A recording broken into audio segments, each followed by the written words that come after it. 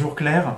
Bonjour. On est ravis d'être euh, chez toi aujourd'hui, d'être accueillis dans le cadre de notre recherche euh, à laquelle tu as été un peu sensible, hein, qui s'appelle Démasquer les mécanismes de la violence dans le collectif. C'est l'objet d'une recherche de fond qu'on mène depuis maintenant 5 euh, ou 6 mois, qui nous a amené à rencontrer un de tes bouquins qui s'appelle La dynamique du conflit, qui nous a beaucoup intéressés. Voilà.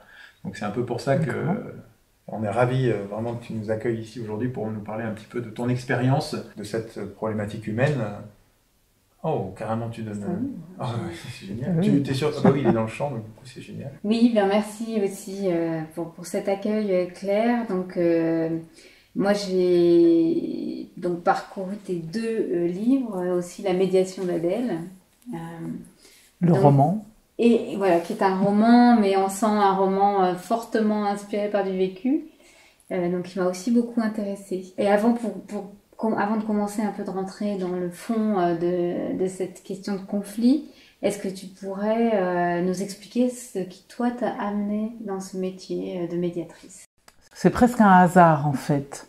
Je travaillais à l'époque dans une association d'éducation à l'environnement. Et en fait, mon directeur m'a parlé d'un stage qui avait lieu tout près d'ici, sur le conflit environnemental, non, sur la médiation environnementale. Je ne savais rien de ça. Et j'y suis allée et hum, c'était vraiment, je dirais presque comme une révélation. Donc j'ai vraiment eu l'impression que la médiation me parlait. Et ensuite, j'ai demandé suite au, à une rupture familiale, un choc, puisque mon, mon, compagnon, le père de mes enfants, est, est décédé il a fallu que je reparte dans une formation. Enfin voilà, j'avais envie de me euh, repartir sur quelque chose et j'ai fait une formation longue au CNAM sur la médiation qui m'a énormément aidé, qui m'a transformé, on va dire. Enfin, tout nous transforme, hein, les, différentes choses nous transforment, mais cette formation m'a beaucoup inspiré, euh, on va dire euh, peut-être changé ma vie. Enfin, ça, il le reste. Et voilà comment j'en suis arrivée au à la médiation. Est-ce que tu pourrais donner une définition de ce mot médiation qu'on va beaucoup utiliser, qu'on a déjà utilisé plusieurs fois, pour que ce soit bien clair pour chacun qu'est-ce que qu'est-ce que c'est la médiation? Et c'est bien de le définir parce que c'est un peu un mot tarte à la crème. Hein. Mmh. Maintenant, euh, mmh. je rencontre plein de gens qui me disent, je rencontre des élus qui me disent oh mais de la médiation on en fait toute la journée, ou un chef d'entreprise qui veut dire oh mais de la médiation on en fait tout le temps, comme si la médiation c'était simplement être ou mettre en contact deux personnes qui se qui sont pas d'accord par exemple. Mmh. C'est quand même plus que ça la médiation, c'est autre chose. Ça va être vraiment euh, euh, l'idée, c'est d'aider deux personnes qui ont besoin de se parler, envie, besoin, qui ont le désir de se parler, et peut-être l'idée de se mettre d'accord sur un certain nombre de choses, de se rencontrer, et qu'ils ne peuvent pas faire euh, sans la présence d'un tiers. Donc ça va, je vais parler souvent de posture, d'une manière d'être du médiateur qui va permettre cette parole entre deux personnes. Moi, j'aime bien euh, parler de médiation comme quelque chose de simple, revenir permettre à deux personnes de se parler, si elles ont envie de le faire. Et si elles ont envie que la situation change. Et donc la médiation, c'est pas seulement être un intermédiaire entre deux personnes, c'est prendre une place, mais une place de tiers. Si elles ont envie de le faire. Hein. C'est-à-dire toi, l'acte volontaire ah. de deux personnes, ça a l'air important pour toi. C'est essentiel, c'est-à-dire que le, le, le, moteur de la médiation, ce qui va mettre en route, ce qui va faire que il y a du changement, il y a, de l'avancée. Il faut pas que ça soit le médiateur qui l'ait ce, moteur. Mmh. Il faut que ça soit les personnes. Et trop souvent, où il y a des fois des circonstances qui font que c'est le médiateur qui a envie que les gens arrivent à un accord et les personnes, bon, euh, c'est pas forcément leur problème ou des choses comme ça. Et là, du coup, ça n'avance pas en fait. Mmh. Donc le mot, euh, c'est le désir des personnes d'avancer, le désir d'un changement de la part des personnes qui va faire euh, produire ce, moteur dans la médiation, quoi, qui va, qui va le faire avancer.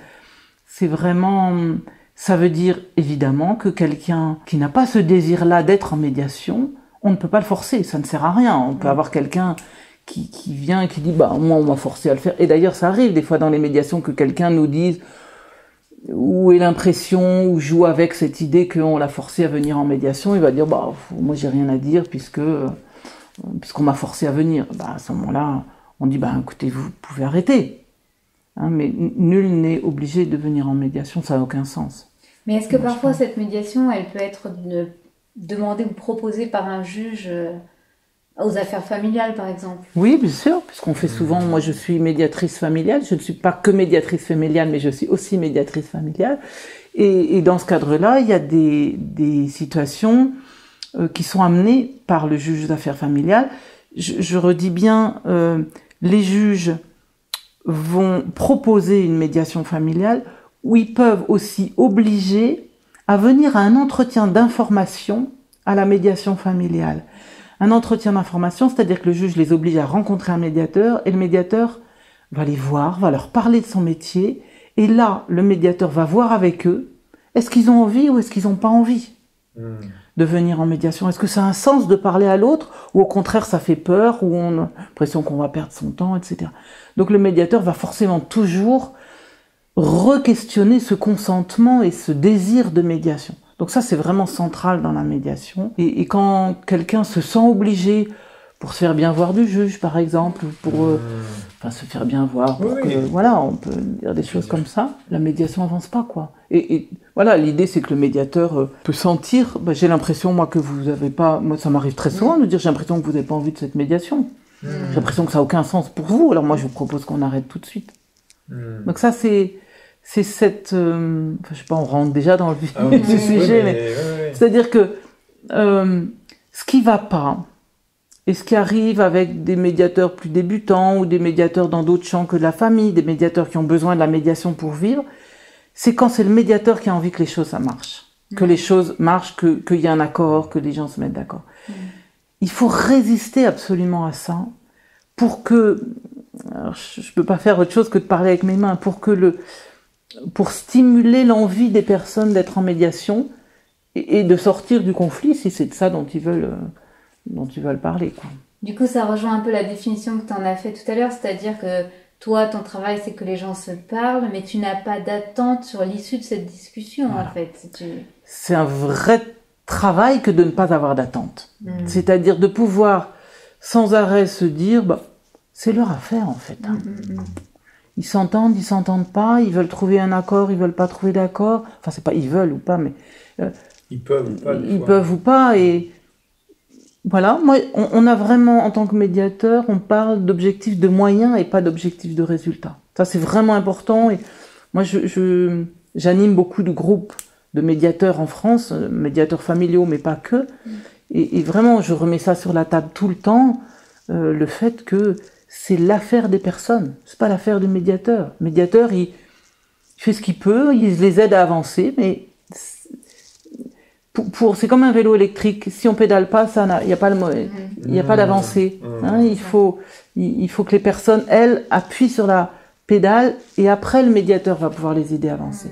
Mais s'ils n'appuient pas sur la pédale, enfin, je sais pas, mmh. pour reprendre cette image. Ah Par rapport à une décision de justice, j'entends qu'il y a une dimension responsabilisante euh, qui peut être euh, vraiment beaucoup plus mobilisé parce que c'est pas juste on confie l'affaire à un juge qui va ah trancher, mais on va s'impliquer, s'investir dans un processus. En fait, tu dirais que c'est un processus Mais bien sûr, c'est beaucoup plus compliqué de s'inscrire dans une démarche de médiation que de demander au juge de décider à sa place. Le mmh. problème, c'est que les effets sont pas les mêmes, évidemment. Hein. Quand c'est un juge qui décide, le, le juge va trancher sur un litige, c'est-à-dire un désaccord qui peut être tranché par le droit et le juge va dire, bah, c'est comme ça. Vous n'êtes pas d'accord, monsieur, madame. Voilà, ça va être ça qui est décidé.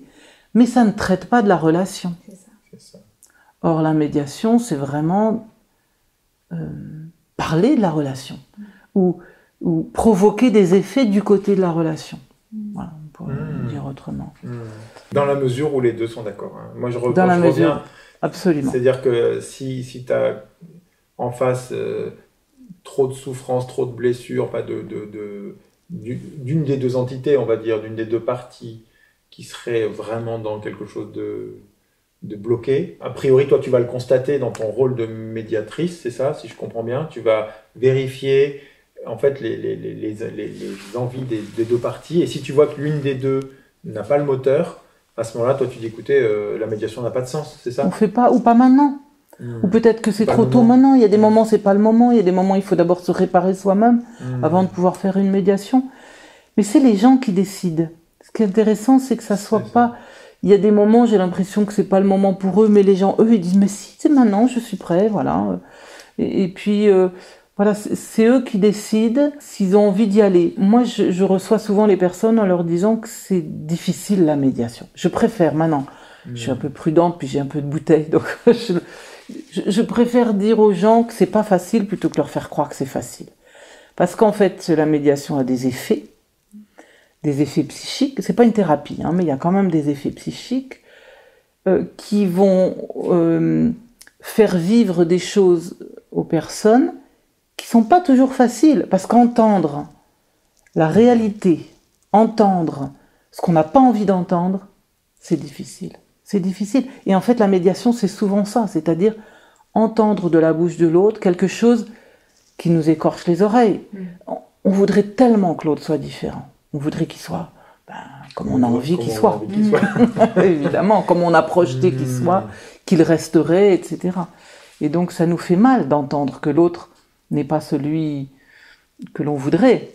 Et du coup, ah, c'est dur. Mm. Enfin, c'est voilà. Donc, je préfère prévenir les gens pour que pour qu'ils le fassent en connaissance de cause, avec l'idée qu'il y a un effet à long terme qui est a priori positif, en tout cas, euh, en tout cas qui met dans une dynamique d'individuation, on se connaît mieux, enfin voilà, il y a des choses qui sont positives, mais c'est difficile, c'est difficile la médiation. Mais est-ce que tu as des exigences en termes de forme pendant la médiation pour que justement les propos euh, puisse être euh, entendu Est-ce que, est que tu limites, par exemple, s'il y a des propos violents ou jugeants?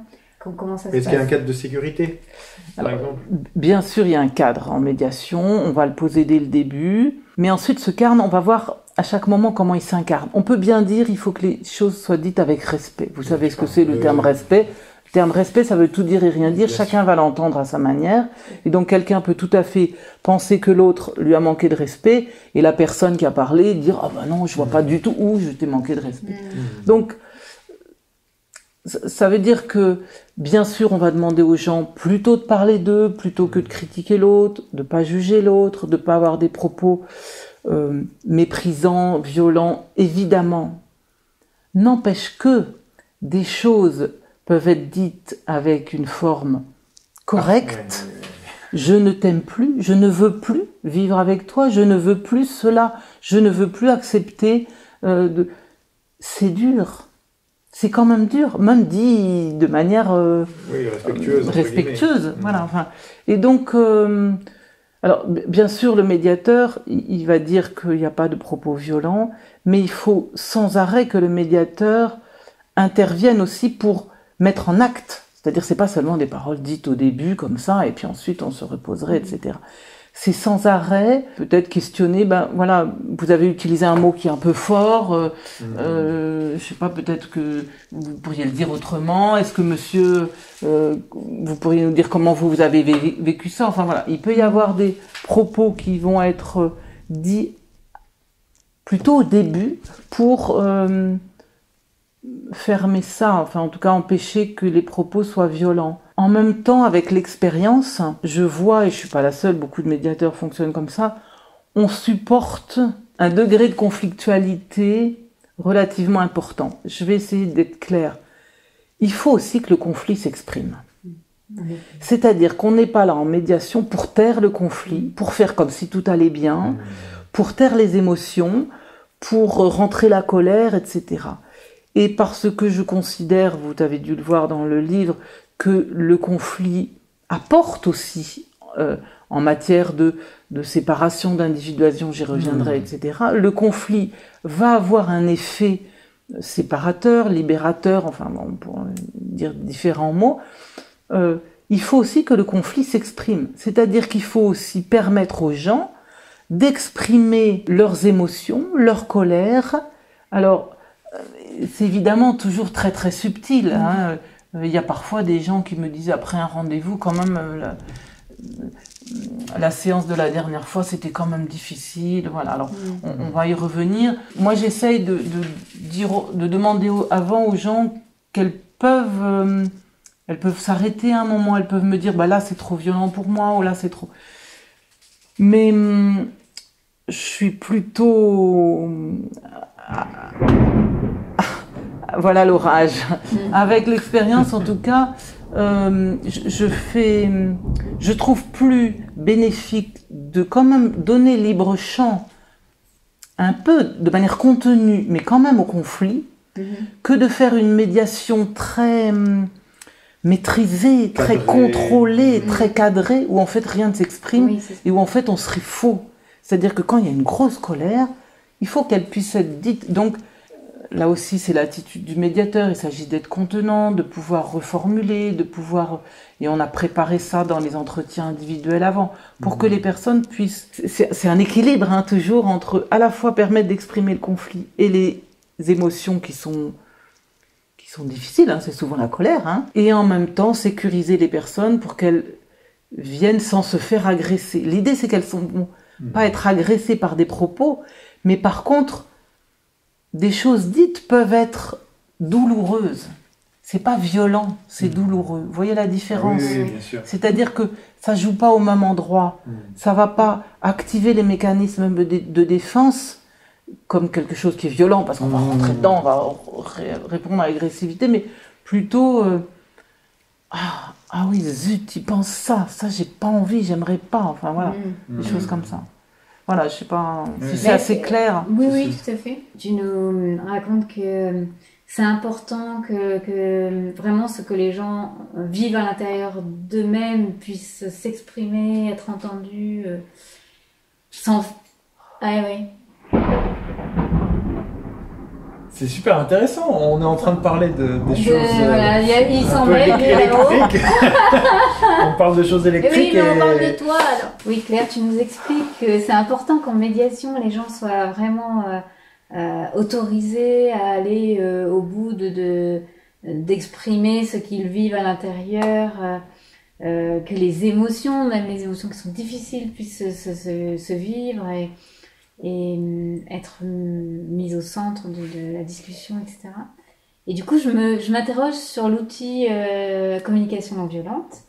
Donc, je voulais savoir si toi, tu as eu recours à cet outil et qu'est-ce, quel rôle il joue aujourd'hui dans ta pratique? Alors, moi, j'ai été formée un peu comme beaucoup de médiateurs où la communication non violente était un, un outil. Alors, je suis très prudente avec le terme d'outil parce que hmm. je, ne l'aime pas beaucoup. Mais en tout cas, voilà, j'ai été formée à la communication non violente assez, de manière assez courte, hein, mais comme quelque, une, une méthode. Mais euh, j'ai été formée aussi avec d'autres méthodes. On va hmm. dire, le terme méthode est peut-être pas approprié. Mais alors, pour moi, il y a quelque chose que je trouve intéressante la communication non violente en prévention avant dans la vie, il y a des choses qui peuvent être intéressantes, j'ai envie de dire, dans la vie. En termes de conflit, c'est plus du tout, c'est plus du tout pertinent. Pourquoi? Alors, je, vais essayer de vous expliquer moi ce qui m'habite là-dessus. La communication non violente, si j'ai bien compris, va essayer de protéger la relation.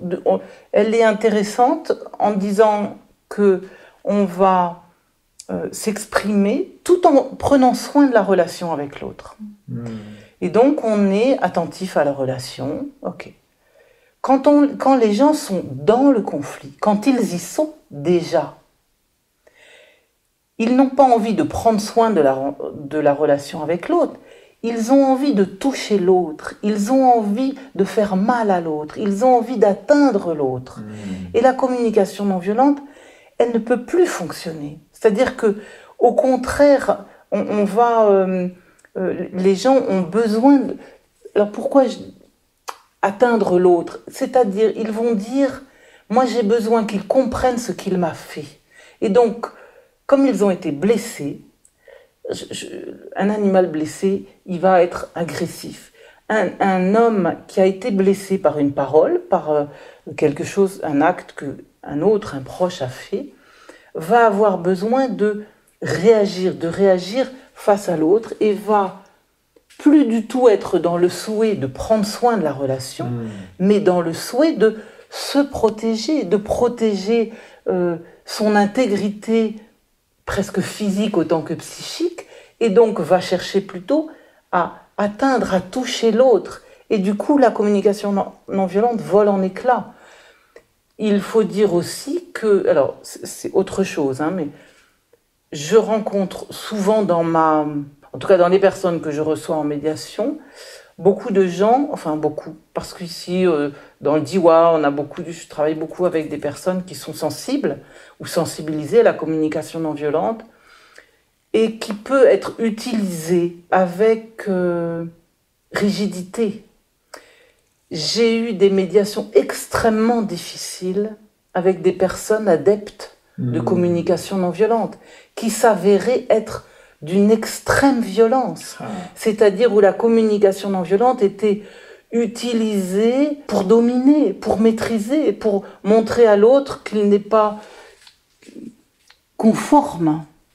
Et alors, bon, on touche à plein de choses différentes. Mais, Attends, là, c'est un, point qui est mm. cardinal pour nous parce que tu rejoins complètement euh, les paroles de, ton prédécesseur hein, dans la série Démasquer les mécanismes de la violence. Charles Rochman dit quasiment ce que tu dis. C'est-à-dire, il y a quelque chose de. Il y a un espèce d'interdit par les pratiquants euh, de cette communication, on va dire, qui, euh, si je reprends les termes, agissait comme un vernis pour lui. C'est-à-dire une espèce d'image qu'on veut se donner, tu vois, une image de pureté ou une image de. de, qu'on s'est un peu idéalisé un peu dans, dans l'histoire et, qui finalement freine l'authenticité euh, de la relation. Tout à fait.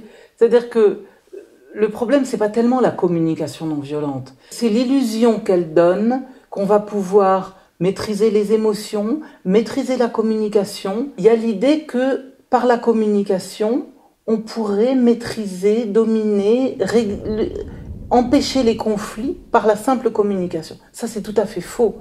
C'est-à-dire que la médiation, ça n'est pas seulement permettre à des gens en conflit de communiquer. Vous qui avez vécu des conflits, vous savez bien comment, si on met en contact deux personnes qui sont actuellement en conflit, on les fait se parler, ça va pas résoudre. Il n'y a rien qui marche. Il n'y a rien qui marche. Ça va être un ping-pong hmm. de justification, d'arguments rationnels, logiques, etc et on va pas résoudre le conflit comme ça. Donc l'idée qu'il suffirait de communiquer. Alors là, c'est plus large que la communication non violente. J'espère que vous suivez. Je, suis pas, je vais un peu dans tous les sens.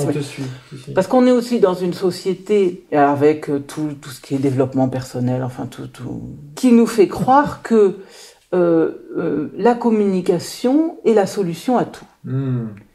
C'est une grossière erreur qui va rendre malade, un grand nombre de citoyens, et, qui va aussi faire croire que si on n'est pas capable de régler le conflit, c'est qu'on ne sait pas communiquer, ou c'est qu'on n'est pas quelqu'un de bien, ou qu'on n'est pas capable, ou qu'on est minable, enfin, des hmm. choses comme ça. Du coup, aller euh, surcharger l'individu qui a déjà des injonctions, euh, qui en a bien assez comme ça, il me semble. Bien sûr. Donc euh, ça c'est une partie de la communication non violente et une autre partie qui est, il me semble que le risque c'est du côté du contrôle et de la maîtrise. Mhm. C'est-à-dire que c'est, moi j'ai vu beaucoup de gens qui étaient des adeptes et, des praticiens de communication non violente qui se servaient de ça pour imposer leur manière d'être, leur manière de faire, pour contrôler, pour dominer, hmm. qui peut être utilisé de manière très perverse. Hmm. Et vraiment, enfin, moi, quand je reçois par exemple quelqu'un qui me dit qu'il est adepte de la communication non violente, j'ai des antennes qui s'allument là en disant Ah, attention, il va falloir être vigilant. Hmm. Ça ne veut pas dire que je ne vais pas travailler avec cette personne, mais ça va être plutôt plus difficile parce que ça témoigne plutôt d'une volonté de, oui, de maîtrise, de contrôle, euh, une idéalisation du moi avec l'idée qu'on va pouvoir être... Euh, alors, c'est délicat parce que je voudrais pas donner des exemples... Euh, euh, avec l'idée, en tout cas, qu'en se formant la communication non violente, on va... alors, je, fais ce geste-là, se restaurer, avoir devenir meilleur, devenir meilleur, avoir une image, et pas seulement devenir meilleur, mais aussi donner une image de quelqu'un de compétent. De... Et il y a beaucoup une volonté de maîtrise derrière. Mm. Et le propre du conflit, enfin en tout cas de la médiation, c'est de lâcher de ce côté-là, quoi. Mm. Et donc les personnes qui sont adeptes de communication non violente en médiation sont, sont rigides. Mais j'ai envie de dire, il y a de l'intégrisme du côté de la communication non violence, comme il y en a dans, dans, dans plein de, de domaines. Et, c'est un même intégré, c'est-à-dire une rigidité psychique où moi j'ai raison et les autres ont tort. Mm que ça soit communication non violente ou autre chose, hmm. on a les mêmes processus psychiques qui sont à l'œuvre du coup dans le conflit. après, je crois que l'intention de la communication non violente n'était évidemment pas, et de Marshall Rosenberg, n'était évidemment pas de, de, proposer un outil pour le coup, parce qu'il va être utilisé comme tel, de Bien de contrôle, de supériorité euh, dans la relation, ou d'inauthenticité. Je pense que à l'origine, c'était vraiment euh, au contraire de pouvoir euh, gagner en authenticité en étant plus précis dans, dans l'expression de celle-ci. Et d'ailleurs, je crois qu'il s'en, il s'en veut, enfin en tout cas, quand, quand il a su que, que ça pouvait être utilisé... C'est ce que disait Charles aussi. Il disait il en pleurait. Voilà, c'est-à-dire que difficile pour lui. Non, moi je trouve ces écrits sont très intéressants et je, trouve qu'il y a quelque chose à gagner à, à, se former à la communication non violente. Mais j'ai envie de dire comme euh, quelque chose qui nous permet de réfléchir à nous, qui on est, comment on fonctionne, etc. Dès qu'on en fait, alors je dirais presque un outil, c'est-à-dire quelque mmh. chose sur lequel on va s'appuyer. En tout cas, dans le conflit, c'est absolument pas opérant. Quand on est dans le conflit, ça va peut-être aider à ça, va aider à mieux se connaître et à peut-être mieux parler de soi, et peut-être dans certaines situations pouvoir éviter le conflit, par exemple en rester au désaccord sans aller vers le conflit. Mhm. Donc hmm. il y a des choses à prendre. Enfin, je veux dire, je, ne mhm. vais pas jeter tout à la poubelle. Hein, c'est pas ça mon objectif. Mais mais dans le conflit, je sais pas comment font les médiateurs CNV, j'en je, rencontre dans mhm. des collectifs de médiateurs, mais en fait c'est tellement intime ce qui se passe dans la médiation, je ne sais pas vraiment comment ils travaillent ensuite dans la médiation. Et, en plus c'est très difficile de juger un médiateur, c'est pas sur une médiation qu'on peut juger un médiateur, donc mhm. voilà, je ne sais pas très bien, mais j'en parle certainement très mal et je voudrais pas trop parler de la médiation CNV parce que je la pratique pas, je la connais pas. En revanche, moi j'aimerais bien abonder dans ce que tu dis. Euh sur le, le fait que ça. Enfin, moi, je parle de mon témoignage quand j'avais dans les 30 ans à peu près. J'ai découvert la, la, CNV du coup, et j'ai fait mon module 1, module 2, module 3. Et moi, moi, ça m'a carrément fait renaître. C'est-à-dire dans le sens de la connaissance de moi, si tu veux, effectivement, mhm. qui n'était pas une technique pour communiquer, mais juste parce que tu sais, dans le module 1, on te donne un papier à 4 là, qui te dit quand mes besoins sont satisfaits, je peux me sentir, et puis tu as toute une liste de, vocabulaire, de mots, qui mettent des mots. Et puis, le, verso de la feuille, il y a quand mes besoins ne sont pas satisfaits, je peux me sentir. Et pour la première fois, j'ai pu découvrir, je pouvais me sentir frustré. Alors pour moi, la frustration, c'était un mot tabou, tu vois, il y avait des mots comme ça. Euh, non, je, je, suis pas, moi, je, je, je suis pas frustré, tu vois. non, mais tu vois, j'étais tellement hmm. coupé de tout ça, que c'est, de ces émotions, de ces côtés perturbés que, que je niais en fait. Que le fait d'entrer dans une formation et que là, je, je, je l'ai devant moi avec des mots, tu vois, quelque chose qui disent non, mais enfin, puis en plus dans la position de l'élève, enfin du stagiaire, tout ça, qui, qui, est ok pour apprendre et tout. Donc en fait, ça a ouvert complètement à l'intérieur de moi des portes qui étaient inaccessibles. Et je suis sorti de là en disant ah ben j'ai le droit de me sentir. En fait, je peux, je peux, ah ouais, je peux me sentir frustré. Ah, ça c'est. Tu vois? C'est intéressant. Et c'était magique. Moi, ça m'a vraiment. Euh, ça a ouvert ma vulnérabilité, tu vois, mais ma sensibilité, ça m'a ouvert la porte, quoi. Mm. C'est intéressant parce que tu parles de vulnérabilité. Je crois que c'est de ce côté-là, en tout cas, que la médiation euh, touche les personnes. C'est-à-dire qu'on l'idée, c'est de pouvoir aller euh, rejoindre ou, voir du côté de la vulnérabilité plutôt que du côté de la force et de la raison. Juste pour terminer sur la, la c'est pas tellement la communication non violente que aussi l'usage qui en est fait qui laisse entendre ou qui laisse croire, mais c'est pas seulement la CNV, c'est peut-être euh, un certain contexte, euh, voilà que je peux appeler le développement personnel d'une manière un peu large, qui va faire croire qu'avec des bons outils, on va s'en sortir sans douleur. Mmh, mmh. Non, on est la vie c'est pas comme ça. c'est pas comme ça. Euh, C'est-à-dire qu'on hmm. on va pas. Euh, c'est dur de voir quelqu'un qui qui partage plus nos points de vue. C'est dur, c'est difficile et et il y a de la perte et il y a de la euh, voilà et, en tout cas je m'insurge contre euh, cette tendance qu'on peut avoir aujourd'hui, en tout cas dans certains milieux, à croire que il suffirait d'avoir des bons outils, de bien les utiliser pour être dans un bonheur absolu une estime de soi merveilleuse, un bonheur absolu. Bon, bah, j'en rajoute un peu je, mm, en provoquant. Et du coup, ça veut dire quoi? Ça veut dire que si on l'est pas, c'est qu'on est, on est responsable. Et, et qu'on peut s'en vouloir que à nous, parce qu'il y aurait les outils sur le marché, il suffirait d'aller faire les bons stages pour être heureux. Hmm. c'est ridicule, Hmm. quoi. Voilà. C'est effectivement beaucoup plus complexe que ça. Il y a des choses qui nous échappent, il y a des mécanismes qui nous échappent. On n'est pas maître chez soi. Et, et il faut, voilà, il faut en parler un peu. Enfin, il faut. va falloir l'humilité de le reconnaître. C'est ça qui est en creux. C'est-à-dire que on peut, on, peut se, on peut être équipé cross, comme je dis des fois, tu vas avoir la panoplie comme ça, CNV module 1, 2, 3, Ouais, et ouais. puis euh, le stage de ci, le stage de ça, et cercle restauratif, et le machin, et le truc. D'avoir fait vraiment plein de choses. Et, et, et- et si on croit que c'est parce qu'on a fait tout ça qu'on est, qu'on est arrivé, non, on n'arrive à rien du tout. Il y a Mhm. quelque chose de plus important de ce que je sens que ce que tu dis, si je reformule, qui nous gouverne et avec qui, qui garde sa part de mystère aussi, qui garde un peu ces, ces zones, euh, comme je dis souvent, euh, ces, euh, ces angles morts, hein, comme j'arrive des fois, tu vois, Mhm. le, le- le truc qu'on n'arrive pas à voir parce que juste c'est, il y a quelque chose qui fait encore euh, écran, quoi. C'est un peu douloureux. On est multiple en fait. On n'est pas, euh, on n'est pas. Le, euh, je sais pas. Peut-être qu'on est éloigné du conflit, mais, mais, Pas tant. euh, on, on voudrait croire qu'on est la personne que l'on donne à voir. Hmm. On, on- on se prend au jeu en fait. On se prend au jeu en, en présentant l'image de, bah, comme je fais moi avec vous. Enfin, je veux dire, ce que je veux dire, c'est que c'est du, c'est du quotidien, c'est du banal. hein. On se prend au jeu à croire qu'on est en totalité la personne que l'on donne à voir en Mm. présentant une certaine facette, etc. Or, bien évidemment, on est beaucoup plus complexe que la personne qu'on donne à voir. On a des angles morts, des zones d'ombre, des, des choses refoulées, enfin on pourrait utiliser les mots qu'on veut, qu'importe.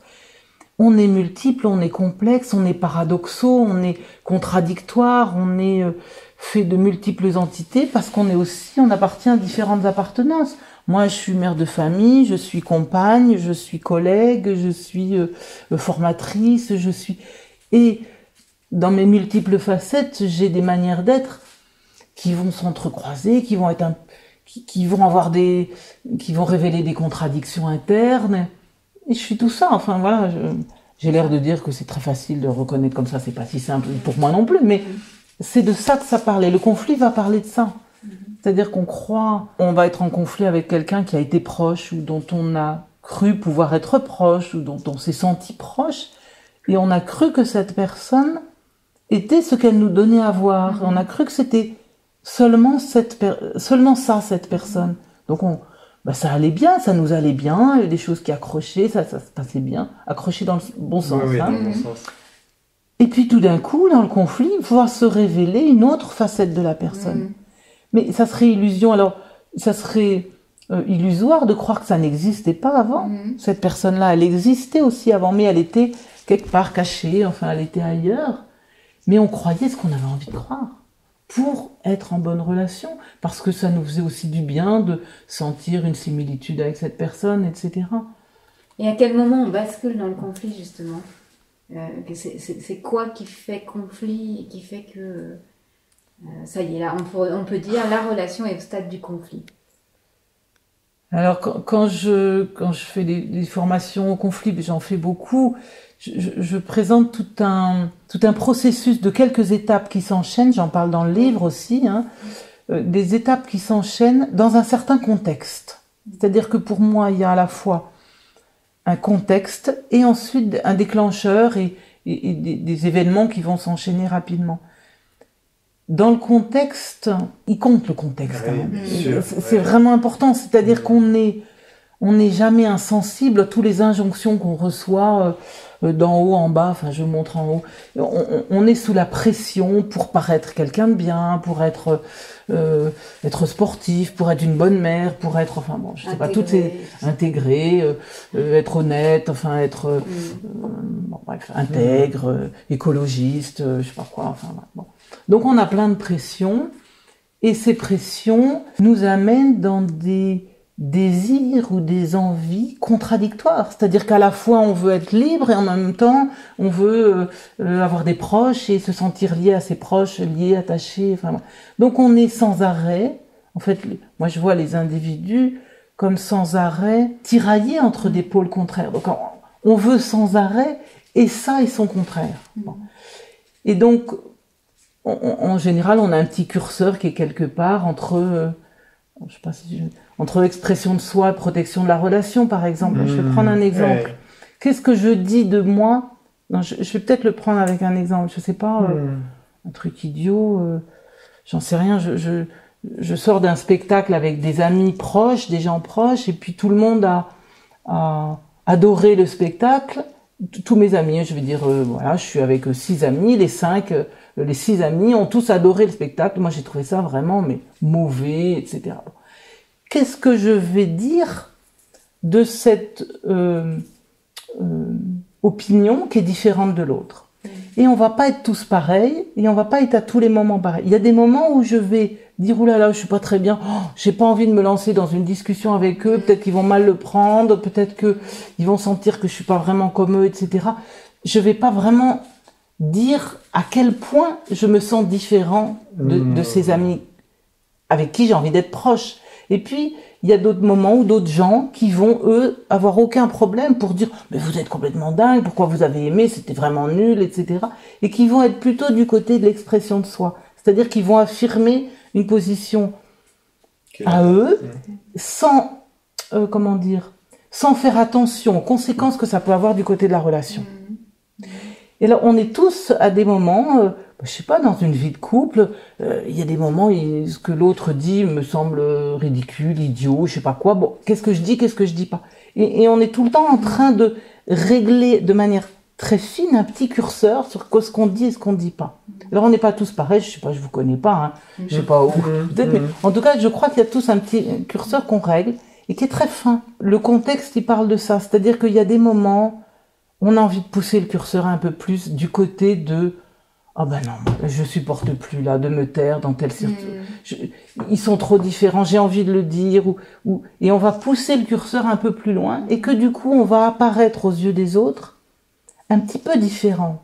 Et on va pas forcément faire ce qui est attendu. Enfin, moi je sais pas, c'est peut-être un peu trop simplifié, hein, mais non, non, c'est très très. Il y a quelque chose qui est que, en fonction des, des injonctions que j'ai, avec qu'on manage en, en permanence, en permanence hein, on fait avec, on essaye de pas paraître trop, euh, voilà, de pas paraître aux yeux des autres, mais aussi à nos propres yeux. Hein.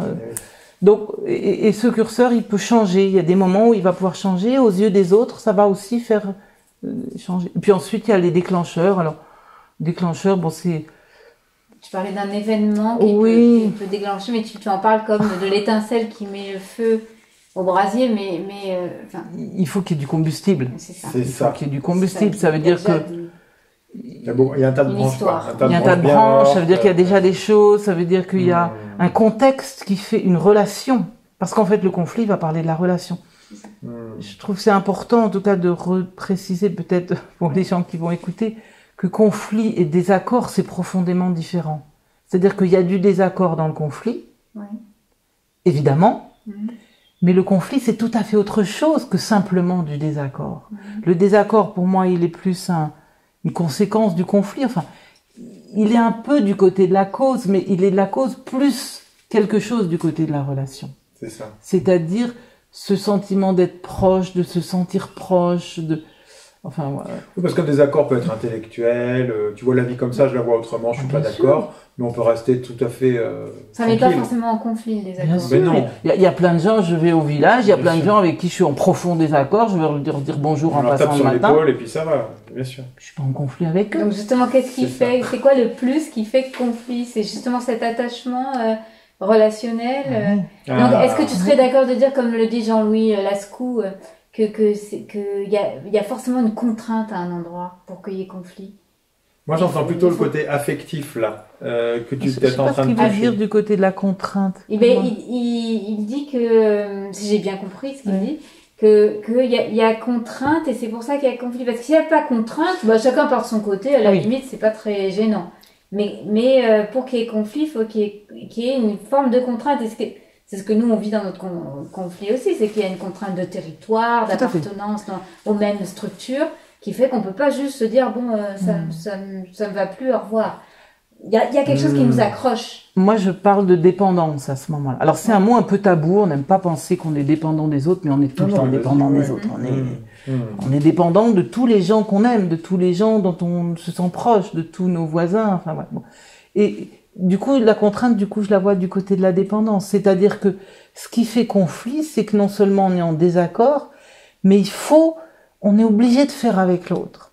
Hmm. C'est-à-dire que quand on est voisin, euh, eh ben, à, à moins de liquider euh, notre appartenance commune, c'est-à-dire déménager, vendre, etc. Ce qu'on peut quand même faire, hein, Oui, oui, je veux dire, ce qui n'est oui. pas, euh, ce qui est quand même euh, Ça fait partie du des re- choses qu'on ça fait fait. partie des choses qu'on peut faire. Mais sinon, on a une dépendance, c'est-à-dire qu'on est obligé de faire avec. Ce qui est le cas pour un couple parental, par exemple. Tout à fait. C'est ça. Il y a des fait. enfants ou quand. euh, Et c'est insupportable de faire avec quelqu'un dont on voudrait, euh, on- Mmh. qu'on voudrait, dont on s'éloigner en fait. Et c'est ça qui va faire, c'est qu'à la fois on est dépendant et en même temps on a besoin de s'affirmer comme étant différent. Et c'est ça qui va. Oui, parce que dans ton livre, tu dis aussi que souvent derrière le conflit, il y a un besoin de euh, transformation. Euh, Peut-être la, la, la relation avait euh, une certaine identité, une certaine routine, etc. Puis à un moment donné, il y a aussi peut-être une des parties qui, qui, qui ressent un besoin de, se différencier ou de sortir de, de cette routine. Il y a quelque chose de nouveau. Mm. À chaque fois qu'on est dans des appartenances, le conflit, il, a pas, il, il, il- il intervient au sein d'une appartenance. hein. Un couple, euh, un habitat collectif, euh, une école, euh, une famille, une institution. Enfin, voilà. Donc il y a une appartenance. Et au sein de cette appartenance, on attend les uns des autres qu'ils se conforment à un certain nombre de façons d'être, façons de faire, qui sont des habitudes dans l'appartenance. Ben, je sais pas, moi, dans ma famille, j'appelle ma mère de telle manière au téléphone ou dans mon équipe de travail, euh, je dis bonjour à mes collègues. Bon, voilà, il y a- un certain nombre de d'habitudes et on s'attend à ce que les autres réagissent d'une certaine certaine manière et c'est ça qui fait qu'on n'est pas trop angoissé euh, euh, dans nos différents appartenances parce qu'on sait à peu près à quoi s'attendre. Hmm. Et donc, ça veut dire quoi aussi? Ça veut dire que à chaque fois que nous, on est dans une appartenance, on est un peu tenu de répondre à la demande des autres dans cette appartenance, qui ont besoin de nous pour que, ben, pour que cette association fonctionne bien, donne une, une image d'elle relativement correcte, etc. Donc, C'est sécurisant aussi peut-être de retrouver les mêmes rituels, les Bien mêmes sûr. repères dans la Bien relation. sûr, bien sûr. Donc on, on va au, au travail le matin en s'attendant à ce que, à peu près à ce qu'il se passe telle et telle chose dans le cadre du travail et, et du coup on y va tranquille. Mhm. Si à chaque fois on se dit Ah, comment les collègues vont être, comment je vais être, euh, est-ce que je vais être accepté ce matin ou pas, est-ce que Mmh. comment, euh, est-ce que je vais être jugé ou pas, ça serait très angoissant. Quoi. Mhm. Quitte, Donc, quitte coup- à ce que même le, le, le contexte soit stressant, mais on le connaît.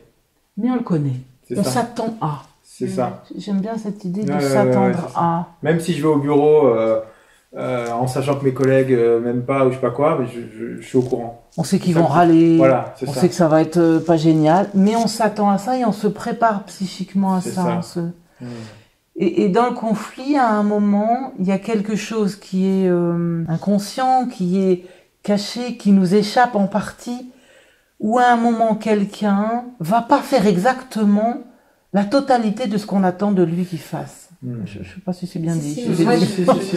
c'est-à-dire que et donc il va dire à un moment, bah attends, moi je suis là, euh, euh, arrêtez de demander d'être- comme ça, je sais pas quoi. J'ai aussi pas. envie d'affirmer un peu de moi, parce Mm. qu'en fait, quand on est dans une appartenance, et plus on est dans des appartenances fortes, plus on lâche de nous-mêmes pour apparaître aux yeux des autres un peu tel qu'ils voudraient qu'on soit. Hmm.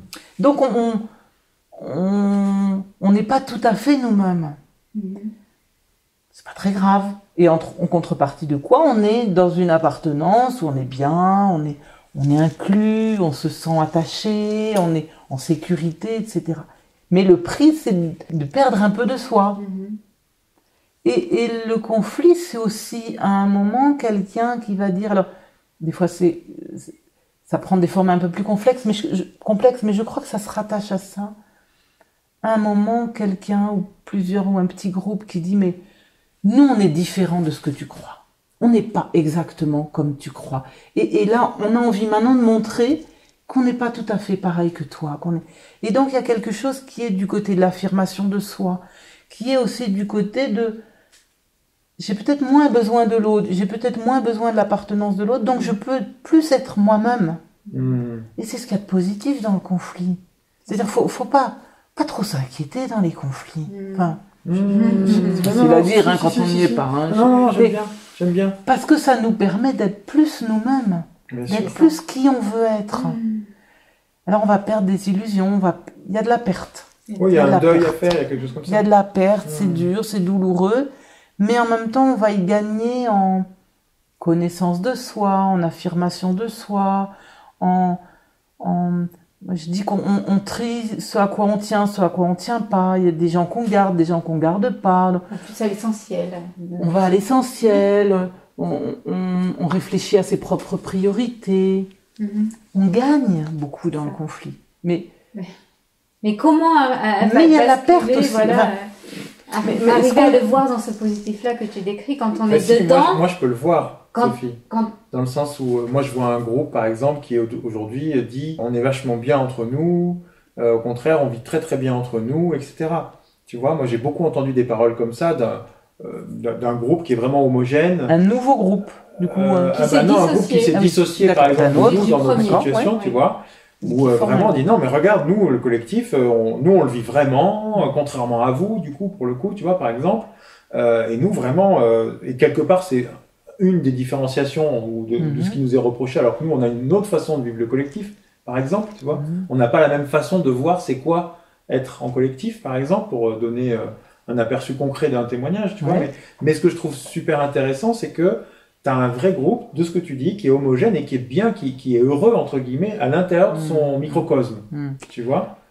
Et là, moi, je dis, bah, c'est un peu génial parce que c'est exactement ce qu'on a voulu nous. C'est-à-dire que si on regarde nous notre intention de fondateur, c'est exactement l'endroit où on voulait que les gens qui vivent sur place arrivent, qui se mm. sentent bien là où ils sont, dans ce mm. qu'ils vivent, etc. Donc moi j'arrive même pas à, être embêté, tu vois. Ce qui m'embête, c'est le, clivage et que du coup ça m'impacte moi dans une autre version, mais mm. dans la version de ce qu'ils offrent à, en tout cas de ce qui s'offre eux en tant que vécu collectif, hmm. moi j'ai rien à dire. Ils sont, ils sont contents, c'est différent de ce que moi euh, je vibre, mais c'est complètement ok. Ça fait partie de la vibration hmm. euh, de la biodiversité humaine, tu vois, des choses euh, concrètes. Moi j'ai pas de. Là, là où on a un problème, c'est que nous, en nous différenciant peut-être de cette. Hmm. de ce collectif parce qu'on n'avait pas la même vision de ce qu'est un collectif, alors euh, il y a un conflit qui, qui, est plus territorial. Hein. oui, mais pas que. Il y a un conflit aussi de, euh, on va dire de, non, qui est pas que territorial. C'est-à-dire qu'à un moment donné, c'est une, un affect qui était quand même très présent. Tu vois ce que tu disais tout à l'heure. On s'est beaucoup aimé, on a beaucoup traversé de mhm. choses ensemble, on a beaucoup été. À ce moment-là, l'impression qu'on formait vraiment du coup un, groupe uni, tu vois, euh, que fondateur pas fondateur, on s'en foutait porteur de projet, hmm. on s'en fichait complètement. On était un groupe, point barre. Et il y avait des rôles, euh, voilà, il y en avait qui avaient des responsabilités, d'autres un peu moins, mais tout le monde était engagé. Hmm. Et à un moment donné, il y a quelque chose qui se différencie, euh, notamment à l'arrivée. Hein, C'est-à-dire quand tu as un groupe qui, qui là pose vraiment ses valises et s'installe en fait dans l'habitat, alors qu'avant c'était un projet, tu vois. Et puis là, d'un seul coup, il y a ce groupe qui, se, qui, doit aussi se retrouver euh, dans un nouveau contexte. Pour le coup, tu parles du contexte et qui là finalement commence à empiler des branches en fait. Tu vois, le combustible dont tu parlais, suite à des petites choses qui commencent à montrer que effectivement euh, il y a des différences, il y a de, des différences de vue, tu vois. Puisque moi je peux dire que servir un collectif, pour moi être dans le collectif c'est servir le collectif, donc c'est faire des choses. Et ça fait 15 ans que je fais des choses et je continue à en faire.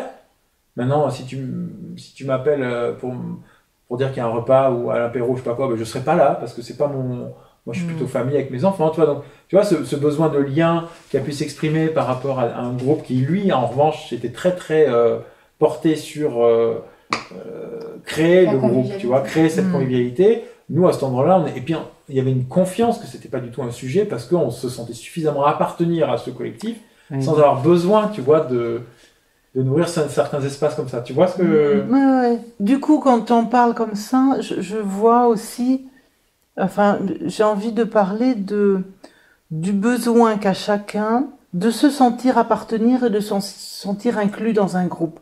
On n'est pas tous pareils par rapport à ça. C'est-à-dire que l'investissement qu'on met dans l'appartenance à un groupe, elle va être différente pour chacun et elle est différente tout au long de la vie. Il peut y avoir des moments où c'est très important.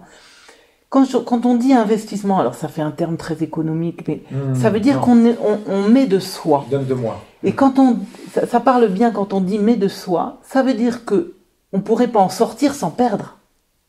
Parce qu'on a mis de soi, on va perdre une part de soi quand le collectif se dissout, quand, quand on, il y a un conflit et des choses comme ça.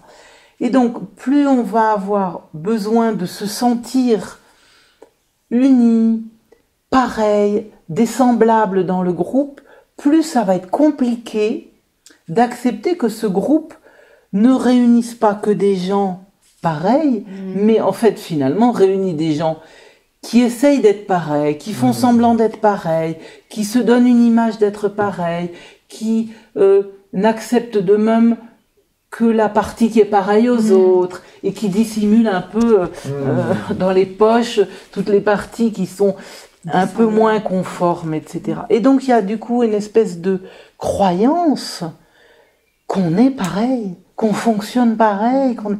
il n'y a aucune raison qu'on pense pareil. Dès qu'on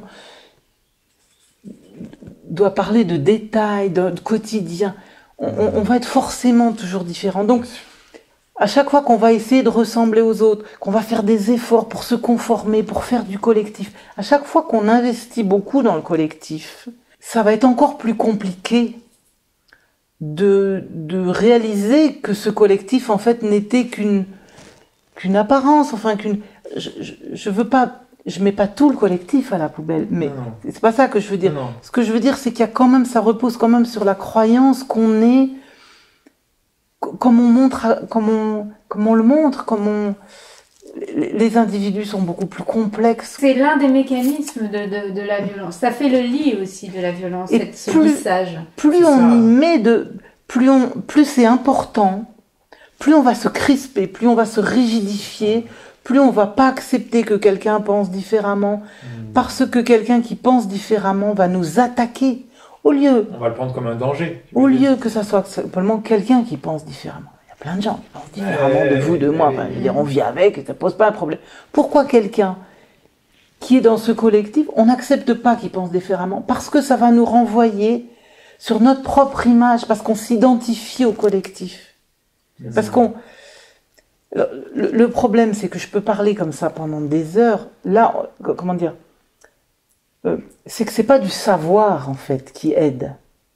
C'est du, c'est de l'expérience intime, psychique. C'est ça qui va travailler en médiation. Parce que ce qui nous pousse aussi, c'est de voir à quel point c'est difficile de sortir de, de, ce collectif et de prendre conscience des mécanismes que tu décris. C'est ça. C'est très difficile parce que le collectif nous aspire, nous prend tout entier, nous. Euh, il y a comme un danger à, à en sortir. Il y a, c'est aussi confortable. C'est comme une grande famille, un peu affectueuse, aimante, reconnaissante, euh, euh, avec une forme de marché euh, très équitable. Euh, donc, pour, enfin, là où on est confronté et qui empêche justement d'aller en médiation, parce que c'est oui. notre désir au départ d'aller en médiation. Oui. Simplement, ce qui a empêché pour moi d'aller en médiation, c'est justement ce refus de d'aller dans cette zone de différenciation, de revenir dans des choses peut-être plus subtiles, de ressenti, tout ça. Parce qu'on a été confronté à une espèce de bloc qui nous a dit, nous on est bien, nous on a notre raison d'être, on a notre, notre vision de la vie. -hmm. Pourquoi venir bousculer ça finalement? Donc euh, j'ai l'impression qu'il y a eu une forme de protection. Moi, j'ai une vision un petit peu comme une, une cellule de, de, composée de, plein de personnes, mais qui se retrouvent dans une forme de, de logique et de cohérence, qui en fait un nouvel organisme. Qui, donc il y a l'organisme, la, la, la, personne avec sa subjectivité et tout ça.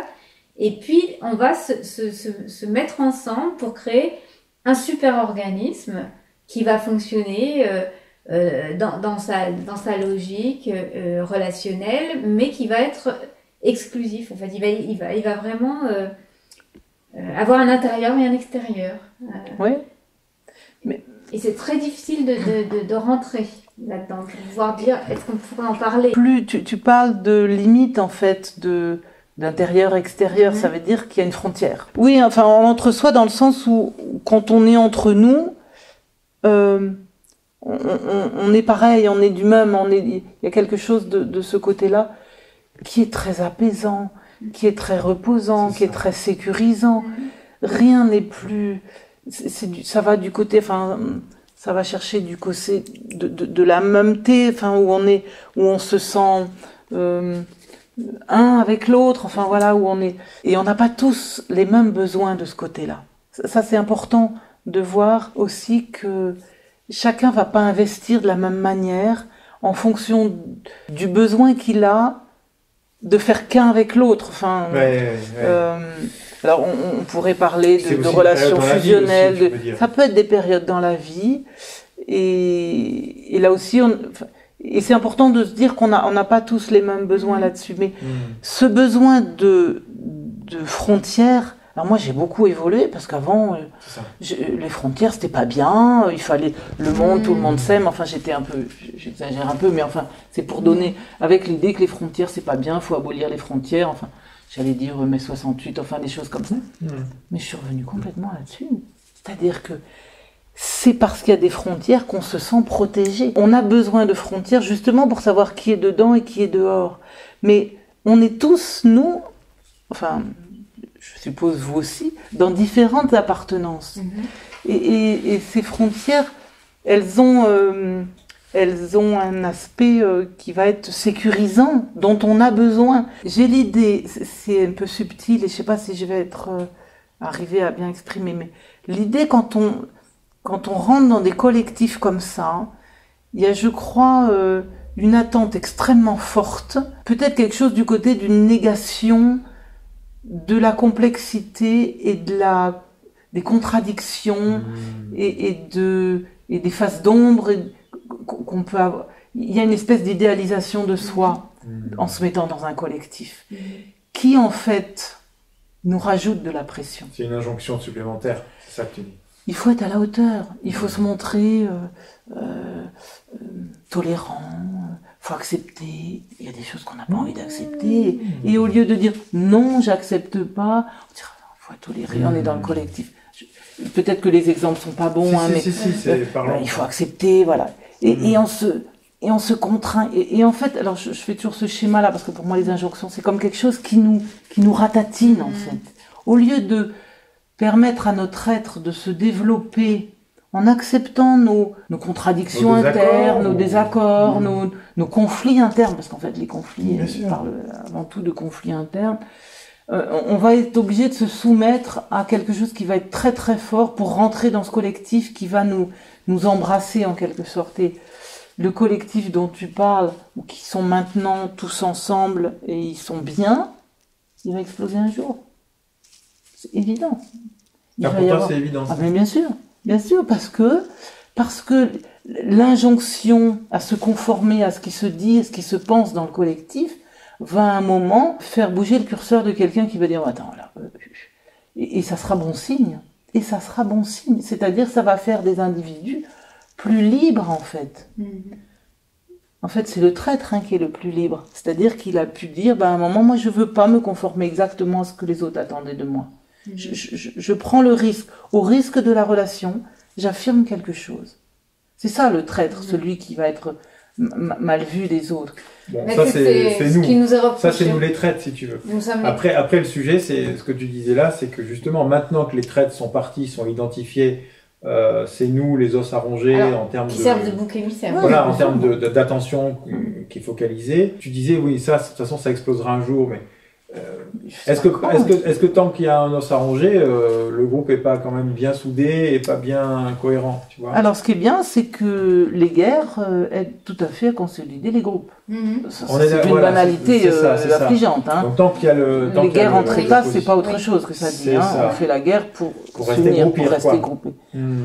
Dans les collectifs, c'est exactement la même chose. C'est-à-dire que la guerre, plus la guerre va être attisée, plus le collectif je ne connais rien à votre conflit. Donc je, vais dire des bêtises, je, je, suis pas plus pour vous pour les autres, j'en sais rien, je connais rien. On est là pour étudier ça, on n'est pas là Mais en tout cas, ce qui est clair, c'est qu'il y a des groupes d'alliés, et à l'intérieur d'un groupe, euh, plus le groupe va être euh, euh, dressé contre un autre, plus il va y avoir une homogénéité de la parole à l'intérieur du groupe.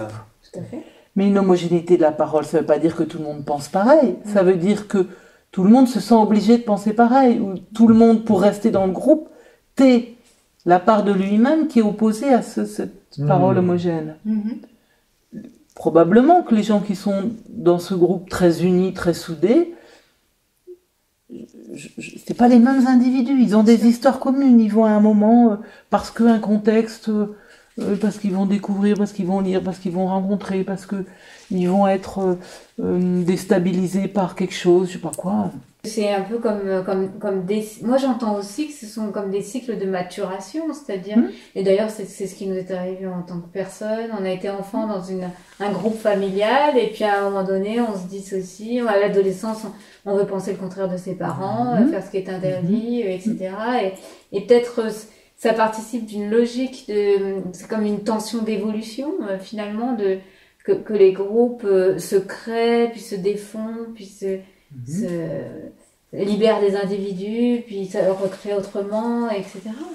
Maintenant, ma question, c'est y a-t-il moyen de faire collectif sans euh, s'enfermer dans cet entre-soi, justement? Ce que je pourrais dire sans m'avancer trop, mais ça, ça Ça dépend ce qu'on y met dans ce collectif. C'est-à-dire que si on s'identifie beaucoup à ce collectif, si on a beaucoup besoin de l'image que les autres nous renvoient, Hmm.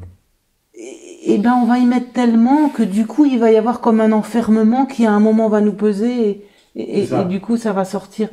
C'est-à-dire c'est comment être faire du commun sans être enfermé dans un collectif. Moi, l'image que je donne, c'est que en médiation, quand, j'étais formée en médiation, on disait bah, il faut trouver du commun entre les gens. Mais moi je cherche pas du commun entre les gens, je cherche à les séparer. C'est-à-dire à montrer en quoi ils sont différents. Et une fois qu'on est différents, deux parents, père et mère qui ont un enfant, qui ont été en conflit, ils vont pouvoir coopérer. Ils peuvent trouver du commun en étant distincts, en étant euh, différenciés, en, en sachant mieux qui ils sont. Le collectif, le problème, c'est que ça nous permet de rester enfants, ça nous permet de rester dans la l'indifférenciation, ça nous permet de rester dans la fusion. C'est très confortable, c'est idéal. Wow. Ça, ça nous fait permet du de rester bien. enfant, c'est ça que tu dis. C'est-à-dire qu'il y a une part Oui. de, de nous, en Oui. fait, quand on est dans le collectif, on, voilà, On est c'est ça, on se repose. On se repose, on se laisse aller. on l'insouciance. Oh là là, il pense pour moi, je vais penser comme eux. Enfin, évidemment, c'est pas conscient. c'est hein, très je- je- caricatural, je- on, on est dans des, des schémas archaïques, dans des choses.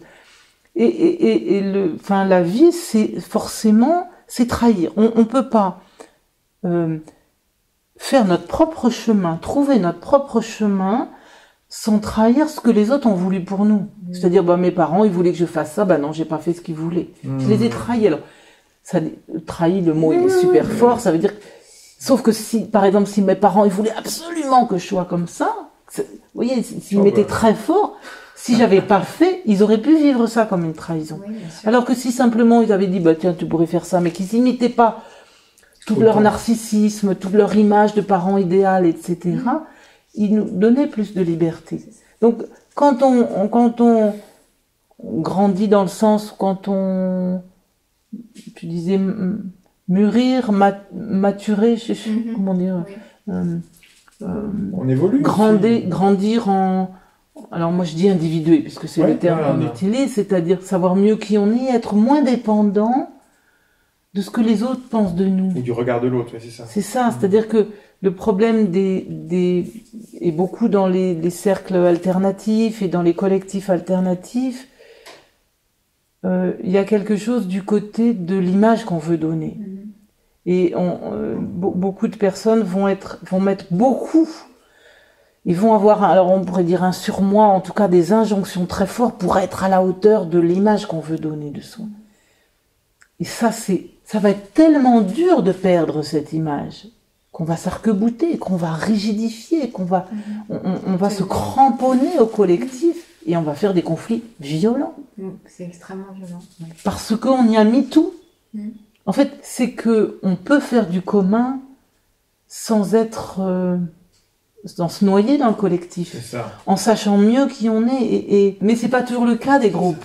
C'est Et pas On peut faire le du cas commun groupes. sans se noyer dans le collectif. C'est Ça ça. fait comment Moi, j'aime beaucoup Mais cette c'est- et c'est ce que je disais par rapport. ouais. Mais, mais peut-être la difficulté dans nos collectifs et éco-villages, oasis, etc., c'est que euh, euh, l'appartenance, elle est à tous les niveaux. C'est on est en même temps en train de vivre dans, sur le même lieu, de travailler sur ce lieu. Donc nos voisins sont aussi des collègues de travail, et puis on est aussi des parents. d'enfants qui jouent ensemble en permanence. Mmh. on est aussi des consommateurs de la ferme, des mmh. produits on, a tout ensemble sur place. Donc, mmh. c'est pas pareil d'avoir un conflit au travail, par exemple. Et puis, j'ai mes autres communautés, ma famille, mes amis, etc. donc, j'ai pas tous mes œufs dans le même panier, en quelque sorte. Je sais pas si vous vous rendez compte de l'exigence que vous vous demandez. C'est la folie. Moi, quand je vois ça, je dis, mais, mais mmh. ça peut pas marcher. Vous êtes beaucoup trop exigeant, je dis vous. Non, non, non, mais de, manière générale. Le, modèle, le système. je sais bien. Alors, et en plus, moi, je partage beaucoup de choses hein, de ces collectifs, enfin, en, termes d'idées, mais je suis affolée de ce que ça demande en termes d'exigence.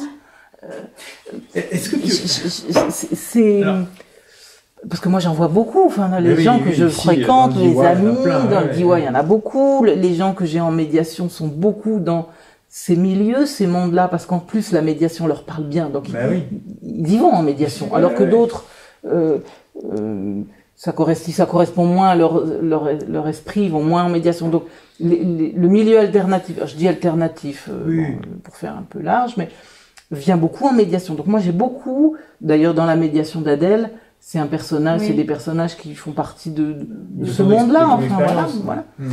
Et et qui ont une exigence avec eux-mêmes, mais, mais délirante. Si je dis, oui, j'ai envie de dire délirante. Alors ça paraît un peu. non, mais très fort. Ça veut dire très forte et qui en fait, au lieu de rendre libre, produisent le contraire, enferment, enferment dans la contrainte, enferment dans la rigidité.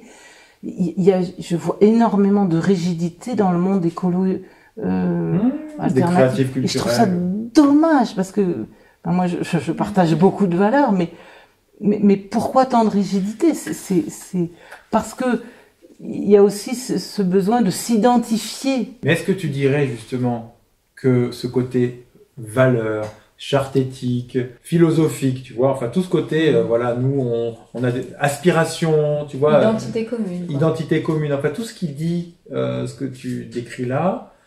Euh, moi j'ai le sentiment aujourd'hui avec ce recul-là que ça vient freiner en fait une forme de qualité mm. euh, dans l'authenticité, dans l'individuation dont tu parles, cette évolution personnelle, etc. Et c'est comme si euh, j'ai envie de t'interroger là-dessus parce que, en fait, j'en arrive à un point où je me dis peut-être que ce qui nous, ce qui nous a manqué et ce qui peut-être est, la peau de banane hein, qui est sur le chemin de, des collectifs qui veulent se construire, c'est qu'on parle de collectif intentionnel, tu sais, où là, on a une intention, c'est de faire ça, puis on va se mettre ensemble pour le manifester, tu vois? Non mais, mmh. tu vois? Et que ça, pour moi, c'est la peau de banane. Et que une, une des façons qui pourrait être de le, parce que moi, t'imagines bien que c'est notre sujet, c'est pour ça qu'on est là, on se dit, mais est-ce que, euh, comme moi je le touche un peu en holacratie, tu sais, ces nouveaux systèmes de, de, gouvernance qui rendent les choses explicites pour sortir justement de tout ce qui est zone d'ombre, etc. est-ce est-ce est-ce qu'un des moyens ce serait pas de réduire un peu la voilure euh, du côté euh, éthique, euh, tu vois, nos valeurs, nana, mhm. et de revenir sur un truc, c'est quoi mon intérêt? C'est quoi ton intérêt? Tu vois? Qu'est-ce et, et, du coup de faire commun, c'est-à-dire de, de, de, faire commun dans le sens du bien commun, c'est-à-dire que c'est quoi ton intérêt toi là? Mhm. ah, ah, mhm. ben moi c'est parce que je viens y trouver. Et, d'expliciter l'intérêt que as à faire à, à, à, à t'associer en fait à des gens en termes de ressources que tu vas apporter parce que tu attends quelque chose qui est connu, c'est-à-dire qui est explicite, tu vois, dans le sens, ben moi je viens chercher ça. Euh, plutôt que de, de croire qu'on est tous pareils ou je sais pas quoi, tu vois, qu'on a tous les mm. mêmes envies, les machins, de se dire, ben non, en fait, peut-être que le collectif, ce serait juste une conséquence. Ce serait pas un projet en soi, tu vois, ce serait juste un moment donné, on, on, voilà, on, on découvrirait qu'au bout d'un certain temps, ah tiens, on forme un genre de collectif, mais, mais au départ, ce qui nous a amené là, c'est l'intérêt connu, un intérêt explicite, tu vois.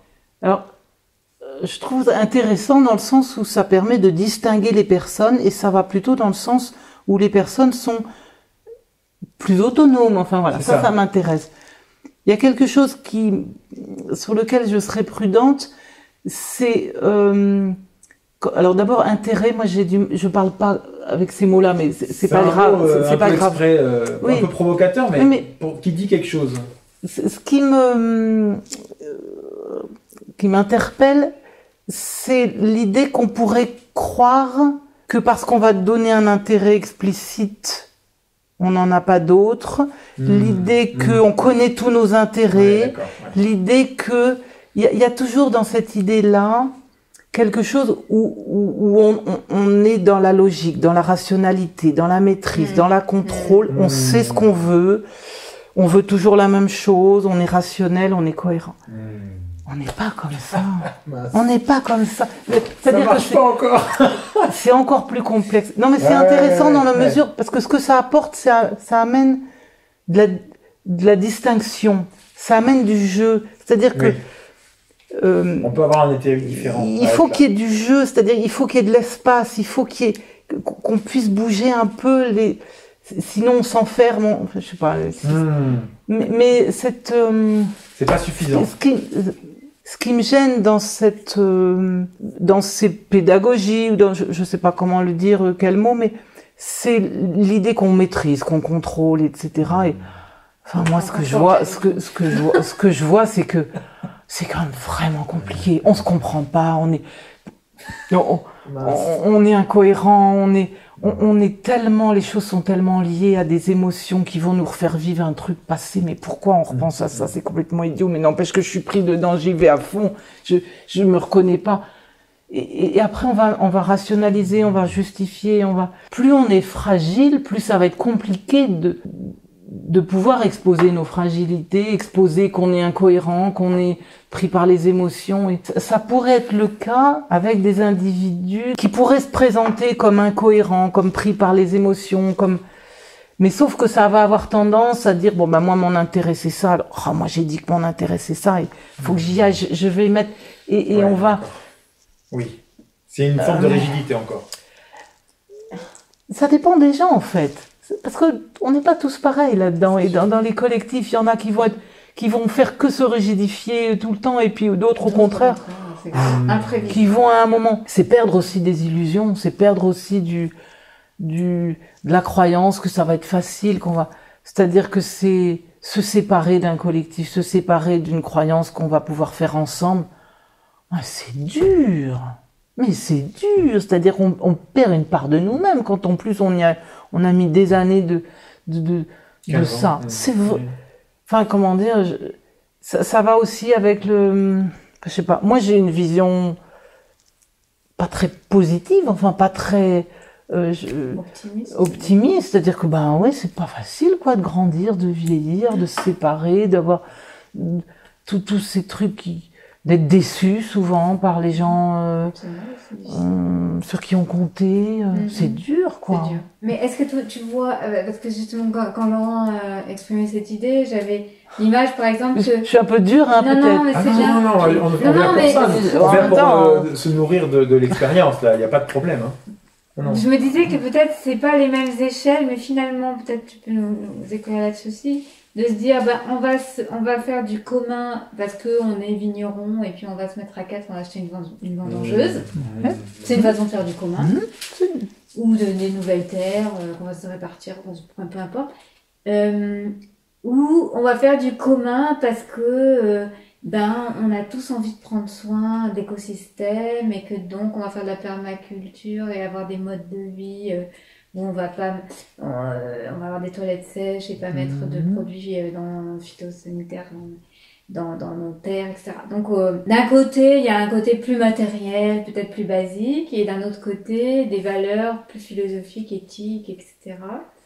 Mais justement, ça m'interroge sur mes... Je me suis dit, mais en fait, c'est quoi les objets qui l'objet des, des conflits qui amènent les gens en médiation? Parce que autant, on peut très bien partir sur une relation très matérielle, matérielle au départ et puis finalement être quand même en conflit.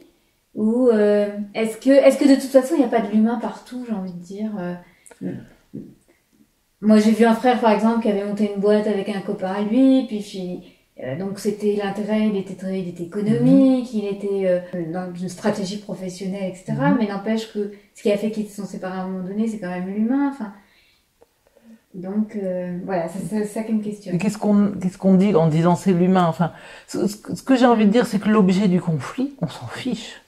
Ouais, c'est Mais on s'en fiche. C'est-à-dire, on, on peut en Mm. parler un peu. On va après refaire. on peut trouver ensuite prendre des décisions communes.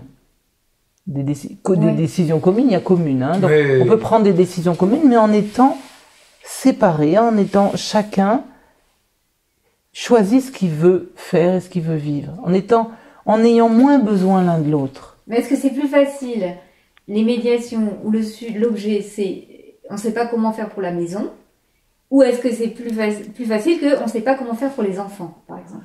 Ça, C'est Non. c'est la même chose. y a autre Les enfants, c'est des objets du conflit. La maison, c'est un objet. Ouais, L'argent, c'est un objet. Que ce soit le tracteur. On s'en fiche Ok. complètement. Ça n'a Ok. aucune Parce que espèce c'est d'importance. Ça. ça qu'est-ce qui fait que, qu'est-ce qui fait que c'est si important que, que l'autre fasse pas comme on veut? Qu'est-ce qui, qu'est-ce, qu'est-ce qu'on y met? Qu'est-ce qu'on, c'est quoi? C'est du pouvoir? Moi Quand je que l'autre fasse pas comme on veut, c'est bien qu'il y a quelque chose de. qui partagent pas mon, ma, mon- C'est-à-dire ma vision du monde? C'est-à-dire qu'est-ce qui fait que c'est si difficile d'accepter que l'autre n'est pas comme je voudrais qu'il soit? Qu'est-ce qui, Mm. qu'est-ce qui fait que c'est si difficile? C'est parce que je me suis mis beaucoup, c'est parce que je me sens dépendant de lui, c'est parce que par exemple, je sais pas, je, je- vais dire un, euh, je, pense à un exemple. Bon, je suis, je, fais partie d'un, je sais pas quoi, d'un éco-village. Je, vais faire un truc bien provocateur, où on a des maisons juste à côté, etc. Et puis il y en a un qui sort un drapeau bleu, blanc, rouge, assimilé, Front National, etc. Ça va me faire, ça va être insupportable pour moi. Mais ça va être insupportable pour moi, d'autant plus que je parle de ce village, que je m'identifie à ce village, et que là, je me dis, mais quelqu'un qui va voir ça, qu'est-ce qu'il va penser de, De moi, moi. Alors, Oui, Dans mon exemple, oui, c'est un peu facile. Et je trouve ça insupportable. Et effectivement, moi, ça me serait difficile de, que, que, que enfin, je sais pas, que quelqu'un avec qui j'ai partagé, avec, dont j'ai parlé à d'autres, etc., se mette tout d'un coup à faire quelque chose qui, qui est insupportable au niveau des valeurs pour moi, par exemple, parce que je partage pas ces valeurs-là, vous l'avez compris. Euh, et, et ça veut dire que à quel point j'ai besoin des autres pour me se sen- pour me sentir quelqu'un de bien. Est-ce que je peux être dans, est-ce que je peux me sentir quand même quelqu'un de bien, alors de bien à mes Oui, en yeux, termes d'estime de soi, en termes d'estime de soi, en termes de, c'est-à-dire me euh, être- euh, avoir une certaine fierté de qui je suis, alors que d'autres vont penser du mal de moi, y compris des gens dans lesquels j'ai investi, Mm. Dont j'ai parlé. Mm. Ça veut dire que j'ai mis un peu de moi dans eux.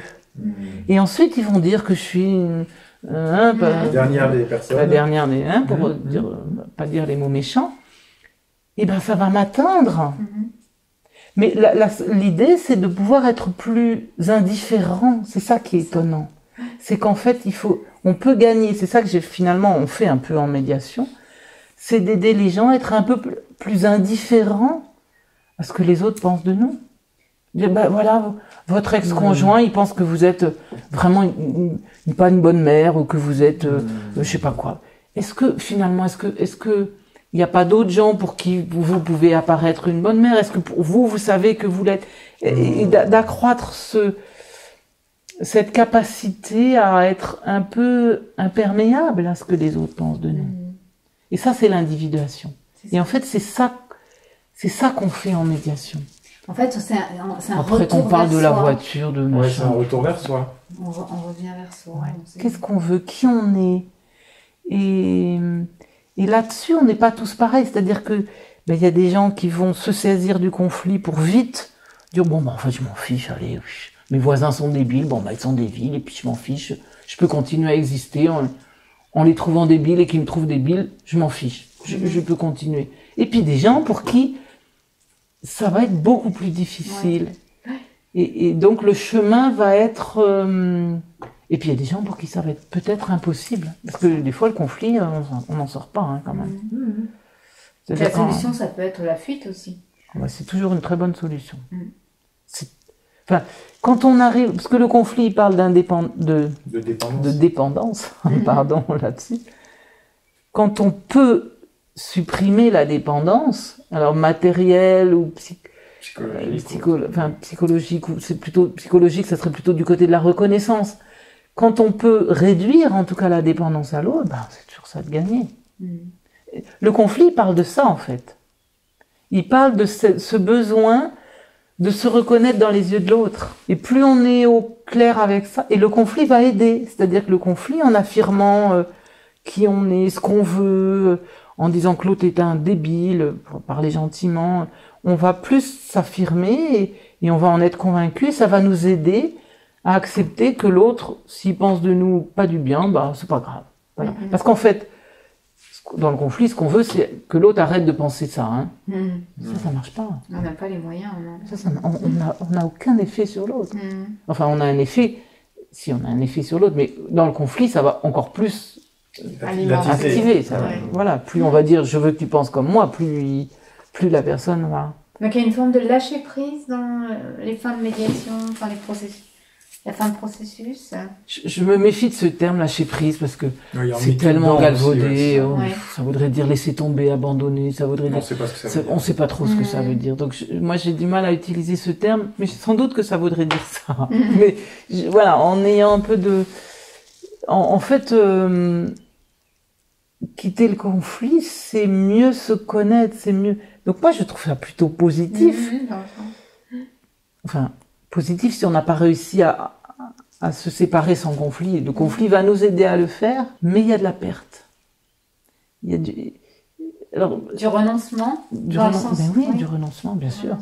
Du renoncement. Mais c'est pas abandonner ses valeurs, c'est pas abandonner ses idées, c'est abandonner que l'autre pense comme nous. C'est abandonner d'avoir raison. Mais dans, dans la médiation, mmh. donc, il faut que les deux fassent cet abandon-là, parce que s'il y en a un qui garde l'idée qu'il a raison, et que, par, par exemple, bah non, nous, c'est facile, parce que là, on, pour illustrer, hein, nous, on, a, on a dans l'idée qu'il faut, il faut procéder à un divorce. Donc, on a 6 hectares, en gros, euh, il faudrait couper le terrain en deux, et puis que, que l'association La Ferme des Enfants, l'école, puisse garder une partie et que les habitants puissent garder une partie. Mhm. Sauf que pour l'instant, il n'y a pas de renoncement. Donc, euh, donc il y a dans l'idée de certains, en tout cas, je dis pas de tous, qu'ils sont légitimes de tout garder, mhm. ou, presque. Mhm. Et que la femme d'enfant, elle pourrait avoir un petit, voilà, juste euh, un petit goût, mais qui lui permet pas ni de s'épanouir, ni de se, ni de se réaliser, enfin, qui permet rien, en fait. Donc, il met comme ça et, donc ça n'a aucun intérêt. Donc qu'est-ce qui se passe lorsque dans... dans... En fait c'est pour ça qu'on met autant de temps à résoudre notre conflit je pense, parce qu'il n'y a, pas se, se lâcher, mm. qui à un moment dit bon allez, euh, on en finit, vous, prenez ça, on prend ça, mm. et puis chacun fait sa vie, on va essayer d'être de bons voisins. Parce que ça, ça reste accroché. Alors je pense que si ça reste accroché, c'est qu'il y a quelque chose qui n'est pas entendu, sans doute, peut-être, qui, ou qui n'a pas encore pu être euh, mis en lumière. Manifesté. Euh, mais est-ce que ça arrive parfois que même avec la médiation, euh, ben, il n'y a pas ce renoncement d'une des deux parties? Oui, ça arrive. Oui, oui ça arrive. C'est-à-dire que il y a des situations ou des contextes ou des personnes qui à un moment gagnent plus, alors gagnent c'est entre guillemets, hein, hmm. finalement à rester dans une, hmm, dans, en conflit, parce que par exemple le groupe reste uni, par exemple parce qu'ils ont une place, parce que alors, je, je, je hmm. c'est peut-être pas du tout approprié à votre situation, hein, donc il faut que je fasse attention, mais euh, on voit des personnes, le, conflit donne une place, donne une identité. Une, identité. une, renommée, on est celui qui se bat contre, on est... Euh, mais sauf qu'il suffit pas de le dire comme ça. Moi, je, ça c'est ce que je vous dis à vous, mais en médiation, j'utilise, je, je, dis pas ça aux gens, parce que ça se vit, ça se, ça se dit pas le, travail d'individuation qui se fait en médiation, c'est pas un travail du côté de la raison, c'est pas un travail intellectuel, c'est pas un travail.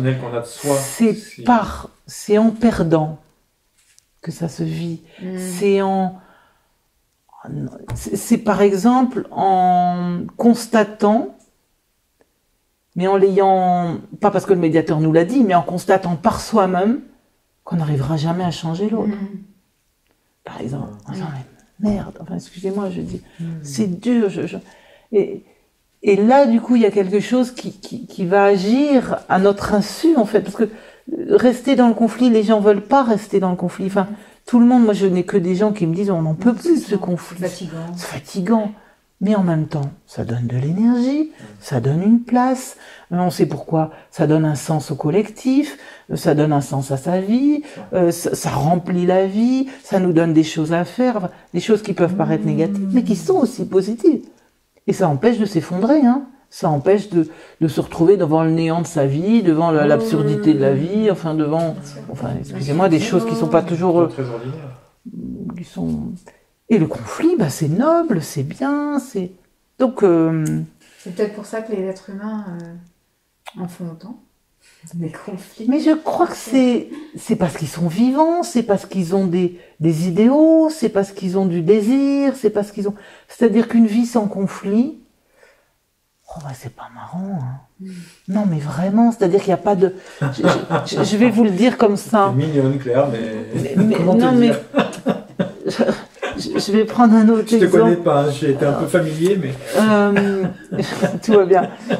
Des fois, on voit des gens qui arrivent en médiation familiale, qui se séparent, mais il n'y a pas de souci. Oui, d'accord. Ils ont tellement pas investi, ils sont tellement pas. De toute façon, ils s'attendaient à se séparer. On va parler de la voiture, de machin, etc. Il n'y a pas d'affect, il y a pas. Oh, mais nous, médiateurs, on aimerait qu'il y ait un peu de.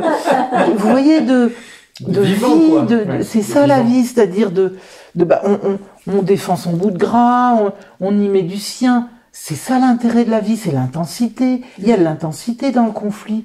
Si c'est pour, si c'est pour, enfin, vous voyez après vous voyez des gens qui habitent dans leur petit pavillon, euh, euh, ils se connaissent pas, ils font pas de collectif. Hein. Ah, c'est pas très drôle. Vous voyez, c'est peut-être. C'est ça. Il y, a, il y a les deux polarités, quoi. C'est-à-dire que as quelque chose qui est Forme... Non, mais bon, c'est facile à dire. Hein, je non, mais, forme... non, mais, je trouve que c'est intéressant parce qu'il y a une forme d'excès, moi que j'entends, de vide, presque de vide de vie, tu vois, dans ce que tu mhm. dis, enfin là, tout ce que tu es en train de dire. Et puis nous, c'est comme si on, vivait l'excès inverse, c'est-à-dire de dire, non, mais attends, nous, on en a euh, plein la marmite, tu vois, on sait plus quoi en faire tellement c'est euh, rempli. C'est rempli. Et du coup, euh, euh, ouais, après, c'est la recherche d'une forme d'équilibre entre, euh, entre ces deux, entre ces deux mhm. excès, tu vois, quelque mhm. chose comme ça. Parce que quand même, quand on a beaucoup, voire trop, euh, c'est dur. C'est-à-dire qu'on on a pu, enfin nous, on a pu passer déjà par les stades du deuil, tu vois. On a, mm. on, a, on a, euh, on a chacun fait notre burn-out. On a tout, tu vois. On, on, a vécu, si tu veux, les, certains cycles qui nous ont amenés maintenant à nous dire bon, si la vie nous amène, nous a servi ça sur un plateau, à un moment donné, enfin sur un plateau. Euh, façon de parler. en tout cas, c'est ce qui nous est présenté. Qu'est-ce qu'on fait? On reste assis, on pleure, on reste couché, on reste dans la déprime, on, se, on a une belle falaise, on peut, on peut sauter aussi, tu vois. Chez nous, on est vraiment au-dessus des falaises. Euh, ou alors, qu'est-ce qu'on fait Qu'est-ce qu'on fait de ça Tu vois? On s'est dit, ben, puisqu'on a des enfants, on est dans, on est dans une forme de vivance et de mhm. et, tous les deux, c'est vrai qu'on a un peu des porteurs de projets, des gens qui produisent des choses. Mhm. Donc on s'est dit, peut-être on va en faire. Ben, si c'est ça qui nous est servi, on va peut-être en faire un sujet.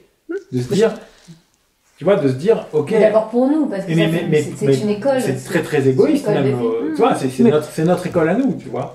Mais c'est bien de penser à soi, enfin, à ce qu'on qu'on a envie de faire euh, à soi. Là, vous, c'est le couple, enfin, ou la famille, c'est ça. Mais il n'y a pas de bien, c'est pas bien. Excusez-moi, mais... je crois qu'on peut pas être autrement que comme on est. Si vous êtes plein d'énergie, je sais pas vous deux, moi je suis pleine d'énergie, je suis comme ça, je, il faut tout le temps que je, je... bon, on est comme ça, on a, le, on a le, le les inconvénients de, oui, de nos. C'est-à-dire que quand on investit beaucoup, quand on met beaucoup d'amour, bah, quand on perd, c'est dur. Oui. C'est ça. Mais, mais, vous, ça, ça, a l'intérêt de vivre intensément. Mais ça ça supprime pas la douleur. Enfin, oui, j'ai récupéré ce que je voulais dire, c'est que j'ai trouvé très intéressant moi votre démarche de s'intéresser au conflit, qu'est-ce qui se passe, etc. Ce que je que j'aurais envie de dire, je, le dis très modestement, hein, mais c'est que c'est que c'est pas du côté du savoir que ça va vous aider, parce qu'on peut aussi se servir d'un savoir pour renforcer cette, ce contrôle. Hmm. Ça c'est un peu moi ça, tu vois. Quand je te dis allez, euh, on va, j'ai trouvé un truc, j'ai réfléchi, j'ai réfléchi. En fait, expliciter l'intérêt qu'on a, c'était une façon de reprendre le, de reprendre la main, de, reprendre, voilà. Nous, on sait ce que c'est que le conflit, on va vous montrer. Ça. Non, mais si, c'est vrai qu'on est un peu dans cette On est un peu là-dedans. Quand c'est d'ici, on doit recommencer à monter un groupe. Comment on va faire ça pour pas se non, non, tu touches le truc là. Oui, là, tu vois. Quand, quand, quand tu m'as contacté, je, voilà, je me suis dit, ok, on peut faire, moi ça m'intéresse, parce que moi aussi intellectuellement ça m'intéresse, tout ça, mais Hmm. Donc je, je suis je suis intéressée, voilà, et puis je suis intéressée à voir d'autres gens qui vont voir différemment que moi, etc. Mais quand on est dans le conflit, ce qui est peut-être encore votre cas aujourd'hui, c'est pas le savoir qui aide. C'est ce qui va se passer du côté émotionnel. C'est passer par un stade à un moment où, où c'est dur, où on pleure, où on où on n'en peut plus, où on, où on a envie de d'essayer d'exprimer la colère. C'est je sais pas. Enfin, ça, ça, se ça, se calcule pas. Ça se et c'est ce qu'on va proposer aussi en médiation. C'est-à-dire en médiation, ben, il y a des moments c'est dur. Je je veux pas. Enfin, moi je, propose des médiations, mais je je fais pas croire. Mais par contre, on va y gagner après. Mais ça, sauf qu'on peut pas le dire parce que tant qu'on est mmh. dedans. Euh, les gens n'ont pas envie d'entendre que ça va être bien après, une fois qu'on en sera sorti, que qu'on aura.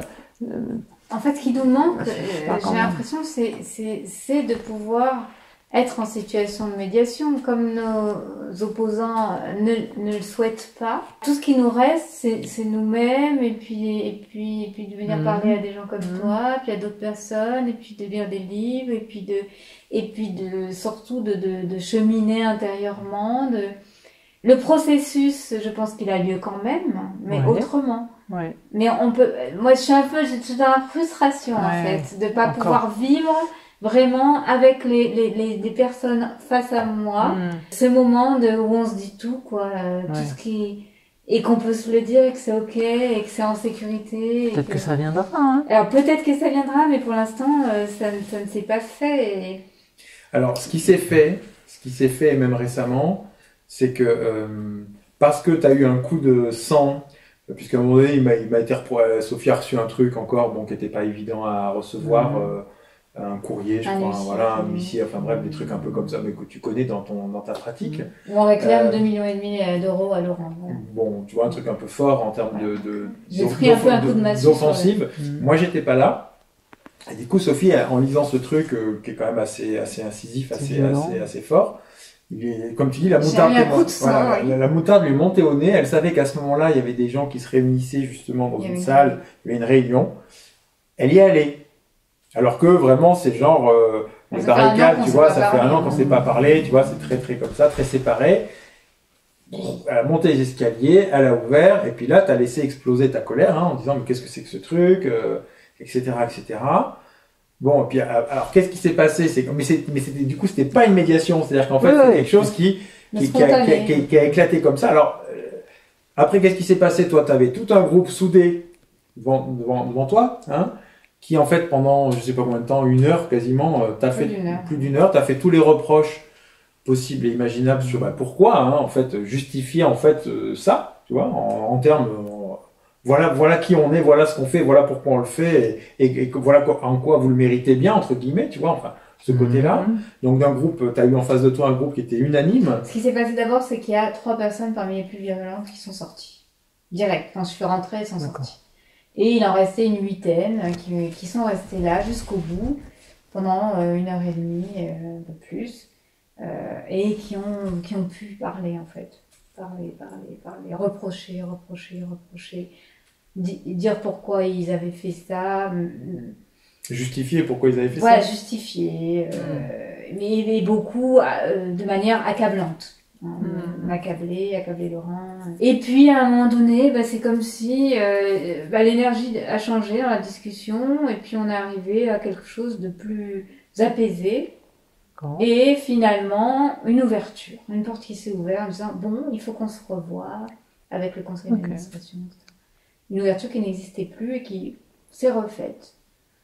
Jusque, voilà, comme ça. Donc, Alors, qui demandait quand même à Sophie d'avoir les, euh, les épaules pour encaisser euh, le, million de reproches qui lui a été fait pendant le temps qui, qui, a été nécessaire pour que les personnes puissent vraiment. Mais tu sais qui m'a permis ça c'est la, la, lecture de ton livre, toi. Là, je sortais de la médiation d'Adèle. Non, mais c'est vrai. Excellent. Et comme c'est très bien fait, on, on, voit bien qu'il y a un processus où il faut que la colère, elle sorte, que tout, oh, qu'il y a ce côté vomito euh, qui, qui, est nécessaire. ouais. Euh, euh continue. Qui est nécessaire, euh, mais pour tout le monde. Moi, moi, des fois, c'est ah bah, après toi que j'en ai, et que, oh, puis après, je peux réfléchir. mais donc euh, ce- ce- cette lecture m'avait mise en, en- en condition. Donc D'accord. j'étais vraiment avec ça, avec c'est normal en fait ce qui se passe. Je suis pas en train, je me suis pas sentie victime, je me suis Hmm. pas sentie écrasée par euh, la situation, mais juste j'ai pu l'accueillir quoi. Voilà. Donc tu vois ça. Hmm. Et, et le phénomène, c'est qu'une fois que ça, ça s'épuise, entre guillemets, que tout, ben ça y est, ils ont tout dit, alors il y a quelque chose d'autre qui se passe, qui est plus en mode, euh, bon, bah, qu'est-ce qu'on fait maintenant? Oui, c'est ça, c'est ça, tout ça. Donc je sais pas, toi, t'as réagi au côté vomito. Bon, c'est un petit peu un terme euh, extrême. Oui, qu'est-ce c'est- que, qu'est-ce que ça t'a Non, ce qu'il faut, euh, parce que hum, quand même les mots, on les oublie pas, quoi.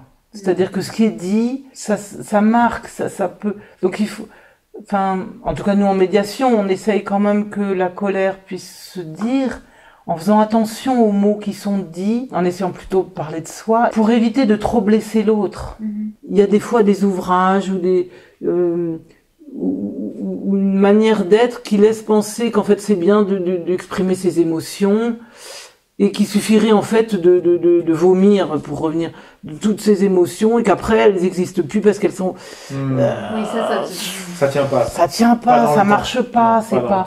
C'est pas si simple que ça. Ça va aussi dans les croyances que que la communication c'est facile, il suffit de tout dire et après euh, Ouais. Non, enfin, euh, euh, voilà, donc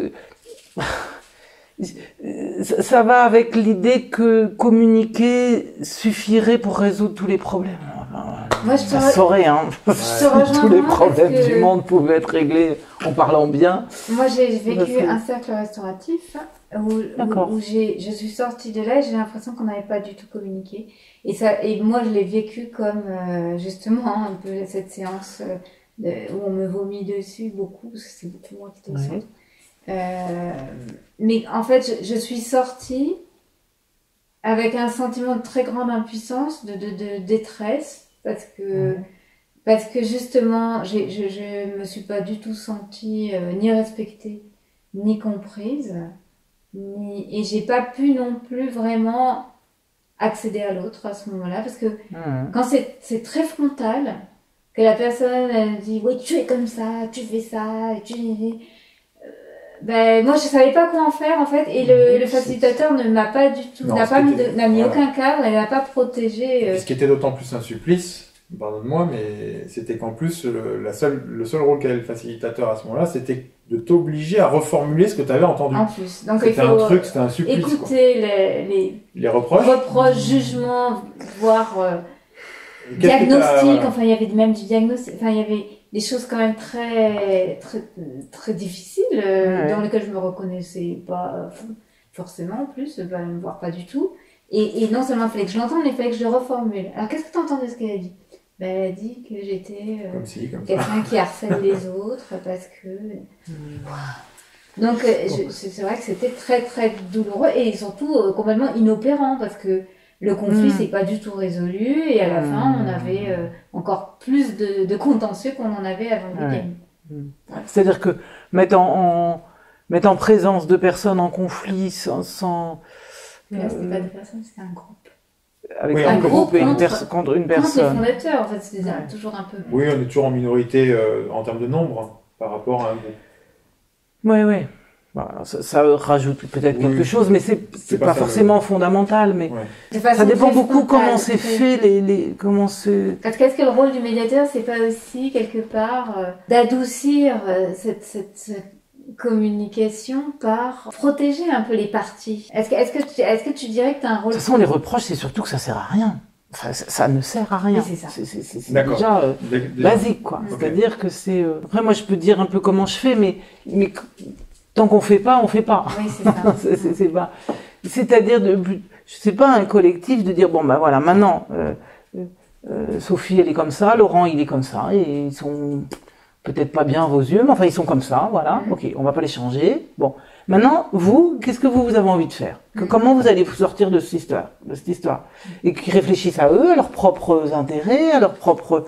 euh, ils ont envie de se défaire, de pas se défaire. Pourquoi vous déménagez pas? Pourquoi eux ils déménagent pas? Pourquoi ils font enfin, de, de, de Ouais. voir un peu les options Ouais, qu'il y a, mais en tout cas, faire des reproches à Sophie ou Laurent, ça sert à rien. Mais comme je vous dirais la même chose, de reprocher au, collectif d'être comme ci, comme ça, ça sert vraiment à rien. C'est plutôt bon. Ben, on est dépendant là parce qu'aujourd'hui, on a des terrains qui sont communs ou qui sont sous le même nom, ou qui sont je sais pas quoi, j'en sais rien. Comment on fait? Mais pour ça, ça veut dire accepter de se penser différemment et ne pas avoir besoin de l'image que les autres nous renvoient. Et donc ça, c'est comment on peut travailler euh, soi-même. Euh, et, l'expression du conflit va aider à ça. C'est-à-dire de constater à quel point l'autre, il est franchement très différent de ce que j'avais pensé. Ben mais vraiment très, très, très différent. Et, il a le droit. Et c'est comme ça, enfin, en tout cas. C'est comme ça. En tout cas, c'est comme ça. Il a le droit pas. Oui, il a le droit. En tout cas, il est comme ça. La réalité, c'est ça. La réalité, c'est dur. Mm. C'est qu'il est comme ça. Mm. Et c'est que pour eux, la réalité, c'est que Sophie, euh, Sophie, elle est comme, ça. Bah, voilà. Mm. Mais comme ça, il faut qu'il fasse avec vous. C'est ça.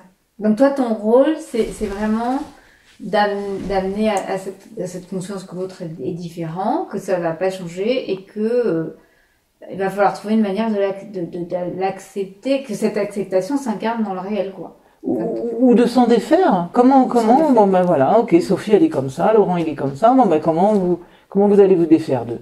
Mm. C'est quoi vos options? C'est quoi vos et, et, arrêter de vouloir que Sophie et Laurent soient différents. Enfin, alors ça paraît comme ça. On passe quand même des séances entières. Hein. Oui, oui. non, mais c'est clair. C'est des processus. Je ne veux pas vous faire croire que c'est que c'est. Hmm. Et puis il y a des fois ça marche pas. C'est-à-dire que si on peut se retrouver, euh, on peut se retrouver nous médiateurs avec des personnes Euh, vraisemblablement l'effet séparateur du conflit, l'effet qui va permettre aux gens de mieux savoir qui sont sans l'autre, mm. ça marche pas, ça marche pas bien, peut-être parce que du côté de l'attachement, du côté de la façon dont ils se sont attachés euh, petits dans leur histoire, etc. Ils ont besoin de l'autre, ils, peuvent pas vivre sans l'autre. Enfin, et il y a des personnalités, des façons d'être où où il y a des gens qui peuvent pas vivre sans s'accrocher aux autres. Hein, mhm. euh, mhm. et, et, là, c'est la fuite la meilleure. Euh, c'est ben, c'est la meilleure option, quoi. Hein. Mhm. C'est-à-dire qu'il y a des gens à qui il faut juste fuir. Voilà. Et le problème, c'est qu'ils vont aller rechoper d'autres gens, etc. Mais, mais ce sera plus vous, quoi. Mais ce sera, plus, soi. On on va pas sauver tout le monde, quoi. Il y a aussi l'idée de faut arrêter de vouloir aider les gens, faut arrêter de vouloir sauver les gens à leur insu, faut arrêter de je, je, sais pas. Tous ces trucs là mais, là parce que ça... enfin bon ça, m'embête parce que j'ai l'air de trouver des des idées pour vous répondre, alors que des fois je, je des fois je patauge, des fois je sais pas, des fois je j'ai aussi des, ouais, parce des moments où on te demande. Euh, mais la médiation c'est vivant, c'est pas. C'est difficile, c'est difficile, c'est. C'est imprévisible aussi, j'imagine. Euh, oui, c'est imprévisible. Ah On sait pas, on sait pas. Des fois, on a l'impression de ne pas avoir bien travaillé, ça a bien marché. Des fois, c'est les autres qui disent. Et, et puis il y a l'évaluation tout de suite, il y a l'évaluation après, après coup. Enfin voilà on est vraiment dans des choses très... Hum, c'est évidemment subtil. Le, grand danger, c'est... On est dans une société où il faut des solutions à tout. Mmh. Où on nous fait croire qu'il y a des solutions à tout. Pour être heureux, il suffit de trouver la solution. Mmh. Alors on va piocher un peu chez le psy, un peu chez le médiateur, un peu chez machin, un peu chez un. Et, non, c'est pas l'extérieur. Ah, c'est un peu plus complexe. et, et, mais c'est compliqué hein, dans, dans, enfin, dans le monde aujourd'hui de, de se défaire de l'image qu'on donne, de, de se défaire de l'image qu'on a de soi, parce que c'est pas tellement que ça compte pour les autres, mais c'est que nous, enfin, on est, quand on est attaqué par ce que les gens pensent de nous, ben, on est attaqué, enfin. Oui, intimement. Intimement, quoi. et en même temps, c'est une belle école, je peux en témoigner. Parce que euh, nous, on est, on est un peu passé de l'adoration à la haine. Euh, enfin, on était des personnes qui étaient beaucoup soutenues, aidées, aimées. Euh, et puis, qui aujourd'hui, certains disent qu'ils ont la haine, hein, carrément. Donc, c'est très intéressant. Mais c'est bien qu'il ait la haine. Ça leur permet de se séparer de vous. C'est ça ça leur permet de. euh, J'ai l'air de faire un diagnostic comme ça sans connaître les gens, donc il faut être attentif. hein. Mais ça leur permet de se séparer de vous. Il y a des gens qui vont Hmm. s'agripper à quelqu'un, à une figure, bon, bah, Sophie Rabi, euh, Pierre Rabi, d'autres gens, etc. Ils vont s'agripper à quelqu'un. Excusez-moi le terme. Bon. Ils ont besoin de cette personne pour tout un tas de choses. À un moment, ils vont avoir besoin de s'autonomiser de cette personne. Mais quand on a adoré quelqu'un, on va pas tout d'un coup l'adorer moins. Il faut la haïr pour s'en séparer. Mm. Donc c'est normal et c'est bon signe Mm. qui se défasse. Enfin, bon signe. Pour moi, Claire Bonnel, le Châtillon d'Iwa qui vous connaît pas. Enfin voilà. Donc je- C'est parfait. Ouais. quelque part, c'est plutôt c'est plutôt bon signe qu'ils se défassent de vous. Ils vont euh, grandir de manière autonome. Qui- J'aime bien cette vision. C'est- C'est- parce que par contre, euh, le fait de rester euh, euh, euh, groupé à quelqu'un qui parle bien, qui, qui, qui, qui a une image, etc., dont on a, be- dont, dont on a besoin de l'image pour, et ben ça c'est c'est dommage, ça va pas, c'est c'est pas c'est c'est pas juste, c'est pas Mhm. c'est enfantin, c'est c'est c'est du côté de la, de la parent en- euh, immature en fait. Ils grandissent en maturité, alors c'est un peu douloureux. Enfin bon, je, je vais pas Non, faire. non, la- c'est super intéressant. Non, non, Ah moi, je, je bois tes paroles là parce que je me dis, ok, d'accord, ils grandissent en maturité, bon. C'est ce que dit, Euh, Sébastien. Oui, Sébastien me disait la plus grande preuve d'amour que tu puisses leur faire, c'est de, de, de- de rester en face d'eux et d'être en conflit avec eux. Je dis, bon, ok, Ah oui. super, c'est sympa. de, Non, mais oui, oui. Ah, moi, je suis De toi-même. là, de rester toi-même et de, Voilà. voilà, c'est ce qu'il disait, de, de rester toi-même, de Ouais. poser ton cadre et puis euh, Droit dans tes euh, droit puis, voilà, dans des ce baskets et puis ou dans tes tongs parce que moi je mets pas trop de bottes, mais Mhm. et puis qu'après eux ils fassent leur truc. que C'est pas ton histoire, mais par contre toi tu restes là. Mhm. Tu restes pour affirmer qui tu es parce qu'il n'y a aucune raison que tu sois pas là où t'es. Euh, Oui. t'es légitime Alors après, au niveau tu du es. territoire, si vous... enfin, après, on peut ch- être Voilà. qui on est euh, sur un autre territoire Bien ou sûr. avec d'autres arrangements. bien sûr, après. bien sûr, bien Mais le, C'est pas géographique. Non, non, c'est pas géographique là. C'est C'est vraiment- ça s'incarne dans la géographie. Mais ça parle d'autre chose, en fait. c'est ça. Ça parle de- nos d'autres histoires, choses. après. Ça parle de vous, de comment vous avez... Comment on se construit l'image de soi, qu'est-ce que... Et là, on est avec nos, nos casseroles ou Oui, nos, histoires, quoi. Appellent nos histoires. Alors, ça peut être des fleurs, des casseroles, mais je sais pas quoi. On a chacun un peu tout ça, tout un tas de bazar. Ça permet de bouger en fait. Ce groupe, il aurait pas pu évoluer sans conflit. Il, il aurait été euh, trop, trop enfermé, trop, trop, Hmm. trop, trop- Il aurait pas pu bouger. Il aurait pas pu. Ça, c'est tellement commun les associations Bien sûr, pour ça ou ordinaire. les figures euh, euh, fondatrices euh, à un moment ne peuvent. L'association ne peut évoluer qu'en éjectant euh, la figure fondatrice qui, qui est avec un conflit. J'ai fait des tonnes de Ah médiations, enfin plein de médiations dans des associations. C'est ce qu'on appelle une tension d'évolution quand on. Ça, ça- ça permet, ça permet d'évoluer. C'est ça. Ça permet d'évoluer. Alors bien sûr, on aurait aimé que ça soit moins douloureux, quoi. hein. Non, moins ça, violent. bon, oui. Mais, mais comme, euh, comme c'est à la hauteur aussi de ce que vous y avez mis. Enfin, Ah ouais, bien sûr. on vit des, comme les amours fusionnels, bah c'est super fort, mais alors quand ça, ça pète, eh ben, ça ébranle. Hein, c'est- déception est c'est- d'autant plus profonde. Et en même temps, c'est vivant, quoi. C'est Ça, il n'y a pas de problème. On a appelé notre université l'université Vivante, ouais. On s'est pas trompé de ce point de vue-là. Ouais. C'est que là, on est vraiment dans des trucs assez, assez costauds, ouais. Après, je sais pas les expériences de médiation qu'il y a eu. euh, La médiation peut pas tout, hein, mais euh, voilà, il peut y avoir un moment de des essais différents, ou plus tard, ou à un autre moment. Ou... Quand tu auras une demande de- des deux parties, de toute façon. Bah, nous, la demande, elle est toujours ouverte après. Et ça, ils le savent, ils le savent depuis longtemps. Après, c'est que en face, pour l'instant en tout cas, et peut-être c'est une question de maturation aussi, de, de progressivité dans quelque chose qui se vit que je que j'ignore, que peut-être à un moment donné, ce sera, ça redeviendra possible. C'est-à-dire qu'on a- on en a fait avant.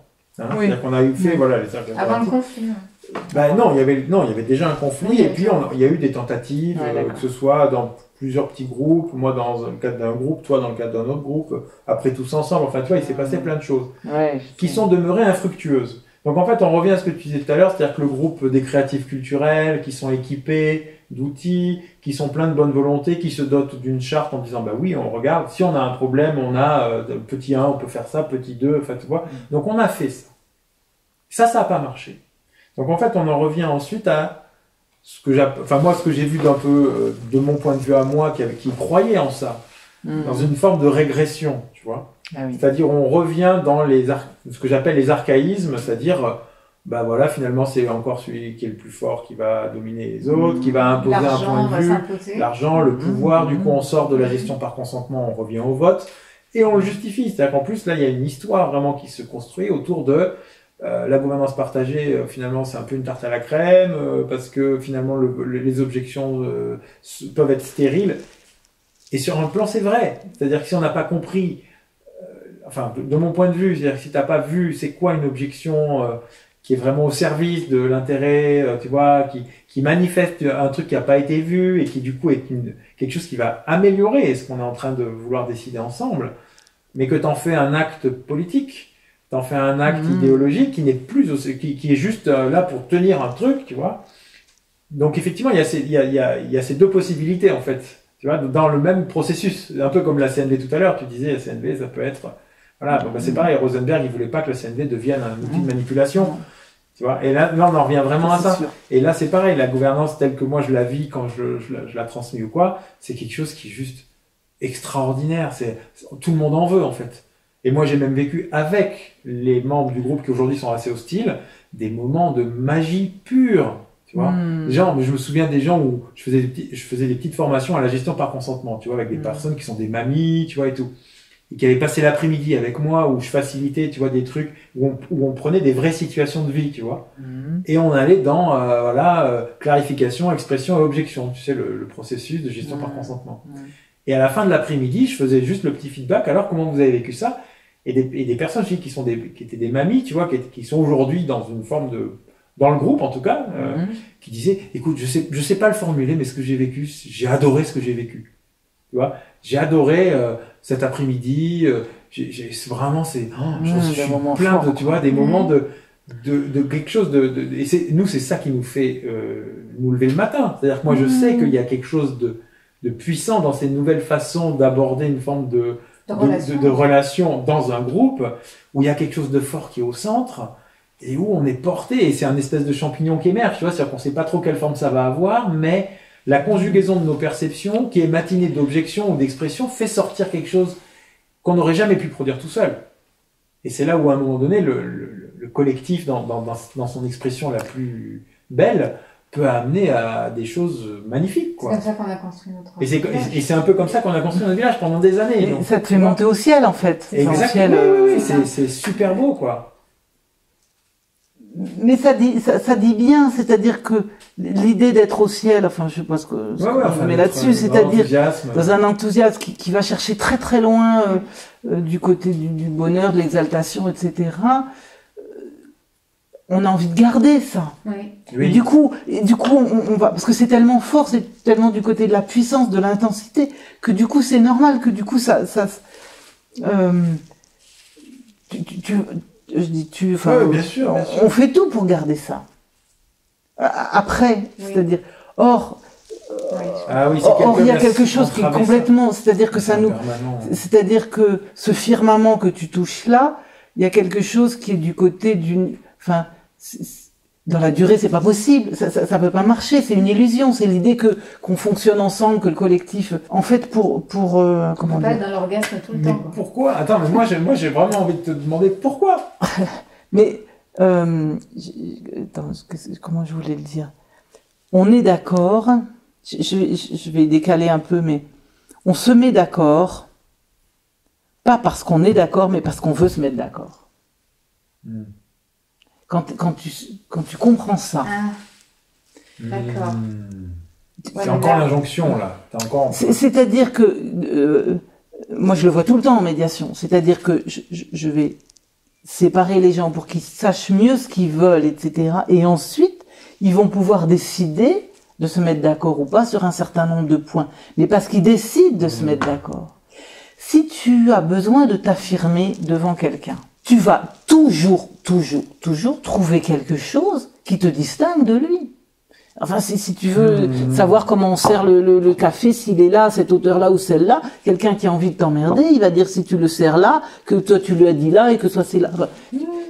tu trouveras toujours quelque chose. On, le sait bien hein, quand on dit cherche la petite bête, etc. Ça veut dire ce qui est important, hmm. c'est pas la hauteur du café. on s'en fiche complètement. C'est que la personne, elle a envie de dire non, j'ai envie de pas être d'accord avec toi. Hein. Il faut entendre la communication comme ce qui se dit du côté de la relation. Quand tu touches quelque chose où il y a où, il y a du, du collectif, ce qui est, ce qui est fantastique, c'est de toucher que les personnes ont envie de faire commun, de, de, de faire commun, et ça c'est. Mais faut pas croire qu'il y a une vraie communauté de pensée. Parce qu'on n'est pas détaché de tous nos, nos, complexités. Mais, parce que, euh, parce que le, consensus, enfin, moi maintenant je suis, pourtant j'ai fait des trucs sur le consensus, mais maintenant le consensus c'est, c'est une bêtise. Parce que c'est vraiment ça. Parce que, parce que de toute façon, il y a consensus simplement parce qu'on a envie qu'il y ait consensus et parce qu'on lâche des trucs. Euh, bon, euh, oui, je peux lâcher là-dessus. Oui, sur certaines choses, bon, parce que ça me fait plaisir d'être en accord avec tout le monde. C'est ça. Mais dès que on a besoin de s'affirmer, c'est-à-dire que dès qu'on est dans le consensus, je, fais un peu des simplifications, faut que je me méfie de moi-même, mais euh, je, simplifie un peu trop les choses sans doute, mais dès qu'on a envie du consensus, on lâche de soi. Mhm. Et à un moment, ça nous rattrape, ça. Oui, parce qu'on a un endroit. Parce qu'à un endroit, on n'existe plus. C'est ça parce qu'on est noyé dans le collectif, on n'existe plus, on est, je, dis noyé. On a laissé filer des choses qui étaient très importantes pour nous. Et, qui vont nous rattraper à un autre moment, parce que, je sais pas quoi, euh, notre mère est malade, parce que notre enfant, on vient de faire naître un enfant. Donc, tout d'un coup, on est un peu différent et on a besoin de nous retrouver nous-mêmes. Chaque individu a besoin de se développer lui-même. Et du coup, il a touché le firmament, il a touché, bon, on a parlé des choses qui sont mais à un moment, il dit, ben, mais c'est pas conscient, ça. Bien sûr. Et du coup, on comprend rien parce qu'on a cru qu'il pensait comme ça, alors qu'en fait, c'est juste qu'il avait vous, il avait eu envie de se firmament. Mmh. Mais c'est pour ça que nous aussi, on a lâché des choses qui étaient très importantes pour nous, Laurent. Et c'est pour ça que quand, quand, on lâche une part de soi, c'est pour ça que la médiation n'est pas une conciliation. Mmh. C'est-à-dire que c'est pas une négociation, parce que parce qu'en fait, ce qu'il faut, c'est être profondément. On finit une médiation quand les gens peuvent dire, ok, c'est juste. Ça, ça me va. C'est vraiment profondément juste. J'ai pas lâché trop de moi. Parce que si on considère que finalement je me suis fait avoir, enfin, je l'ai bien voulu, donc je l'ai fait parce que j'ai sacrifié, j'ai, j'ai, donné ma voiture gratis ou j'ai vendu mon terrain pour rien ou je sais pas quoi, mais c'était pas juste eh ben, eh ben, ça va rester. Ça va, ça va ressurgir. Et quand tu dis c'est juste, ça veut dire je suis en accord avec moi-même. Et non pas je suis en accord avec quelque chose d'extérieur. Ça veut dire j'ai pas le sentiment. Moi, je vais parler du sentiment de dette. J'ai pas l'impression que les autres nous doivent quelque chose. Moi, je travaille avec ça. Qu'est-ce qu'ils vous doivent Par exemple, vous pourriez, dans une médiation avec votre avec l'autre collectif, enfin, je sais pas comment il faut les appeler, on peut dire qui doit quoi à qui? Qu'est-ce que vous, vous considérez que l'autre groupe, mm. je vais l'appeler le collectif, vous doit Qu'est-ce que, symboliquement, hein, euh, une image, une facilité, un machin, je sais pas quoi. Bon. Mm, mm, euh, financièrement aussi, au niveau matériel, qu'est-ce qu'ils vous doivent Qu'est-ce que vous, vous pensez Qu'est-ce que eux pensent qu'ils vous doivent Qu'est-ce que vous, vous pensez leur devoir Et on peut travailler là-dessus. Et du coup, une fois que chacun a pu dire, en tout cas exprimer, on a pu quelque part solder les dettes un peu mhm. symboliques, même en en parlant, bah, je reconnais que je, reconnais qu'on bah, qu'on vous doit d'être venu là ou que notre changement de vie, bah, c'est à vous qu'on le doit, enfin mhm. que vous nous avez, euh, j'en sais rien, je dis n'importe quoi, hein, voilà, des choses qui Et ben c'est pas rien, ça, ça, vaut le coup de parler ça, parce que parce que tant que si par exemple vous vous avez le sentiment qu'ils vous doivent quelque chose, mm. ben c'est normal que vous les lâchiez pas. Mm. Parce qu'ils vous doivent quelque chose, mm. vous, allez, c'est normal que vous, que, vous ne les quittiez pas complètement sans que, que puisse être dit, nommé ou en tout cas symbolisé, enfin qu'il y ait quelque chose. Et vice versa, bien un truc très fort dans ce que tu dis, c'est que, et c'est ce que je vis dans ma vie d'aujourd'hui, c'est pour ça que ça me résonne, c'est que moi je, je, je ne peux pas aujourd'hui envisager quelque chose qui pourtant est très tentant tu vois, dans le sens de partir, tu vois, parce que évidemment c'est tentant Hmm. Et en même temps, il y aurait comme un...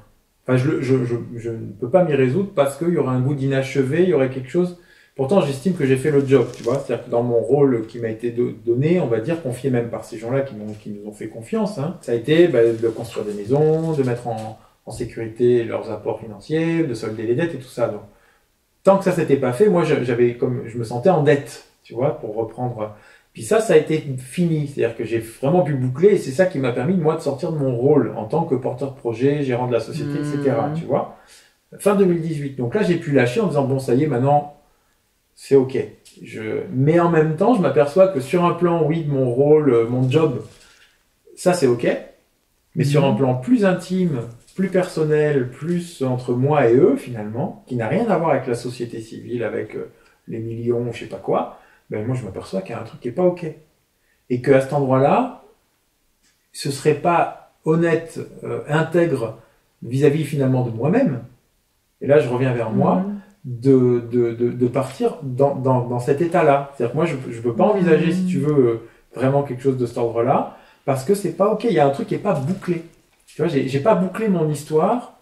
C'est-à-dire que tu as une attente de leur part de, de parler ou de revenir sur quelque chose enfin. ben, alors Je sais pas comment ça peut se matérialiser. Hmm. Ce que je sais, c'est que je le sens. D'accord. Tu vois, j'ai pas de... Non, autant c'est le jugement, autant j'en sais rien, parce qu'on est dans des procédures, des machins.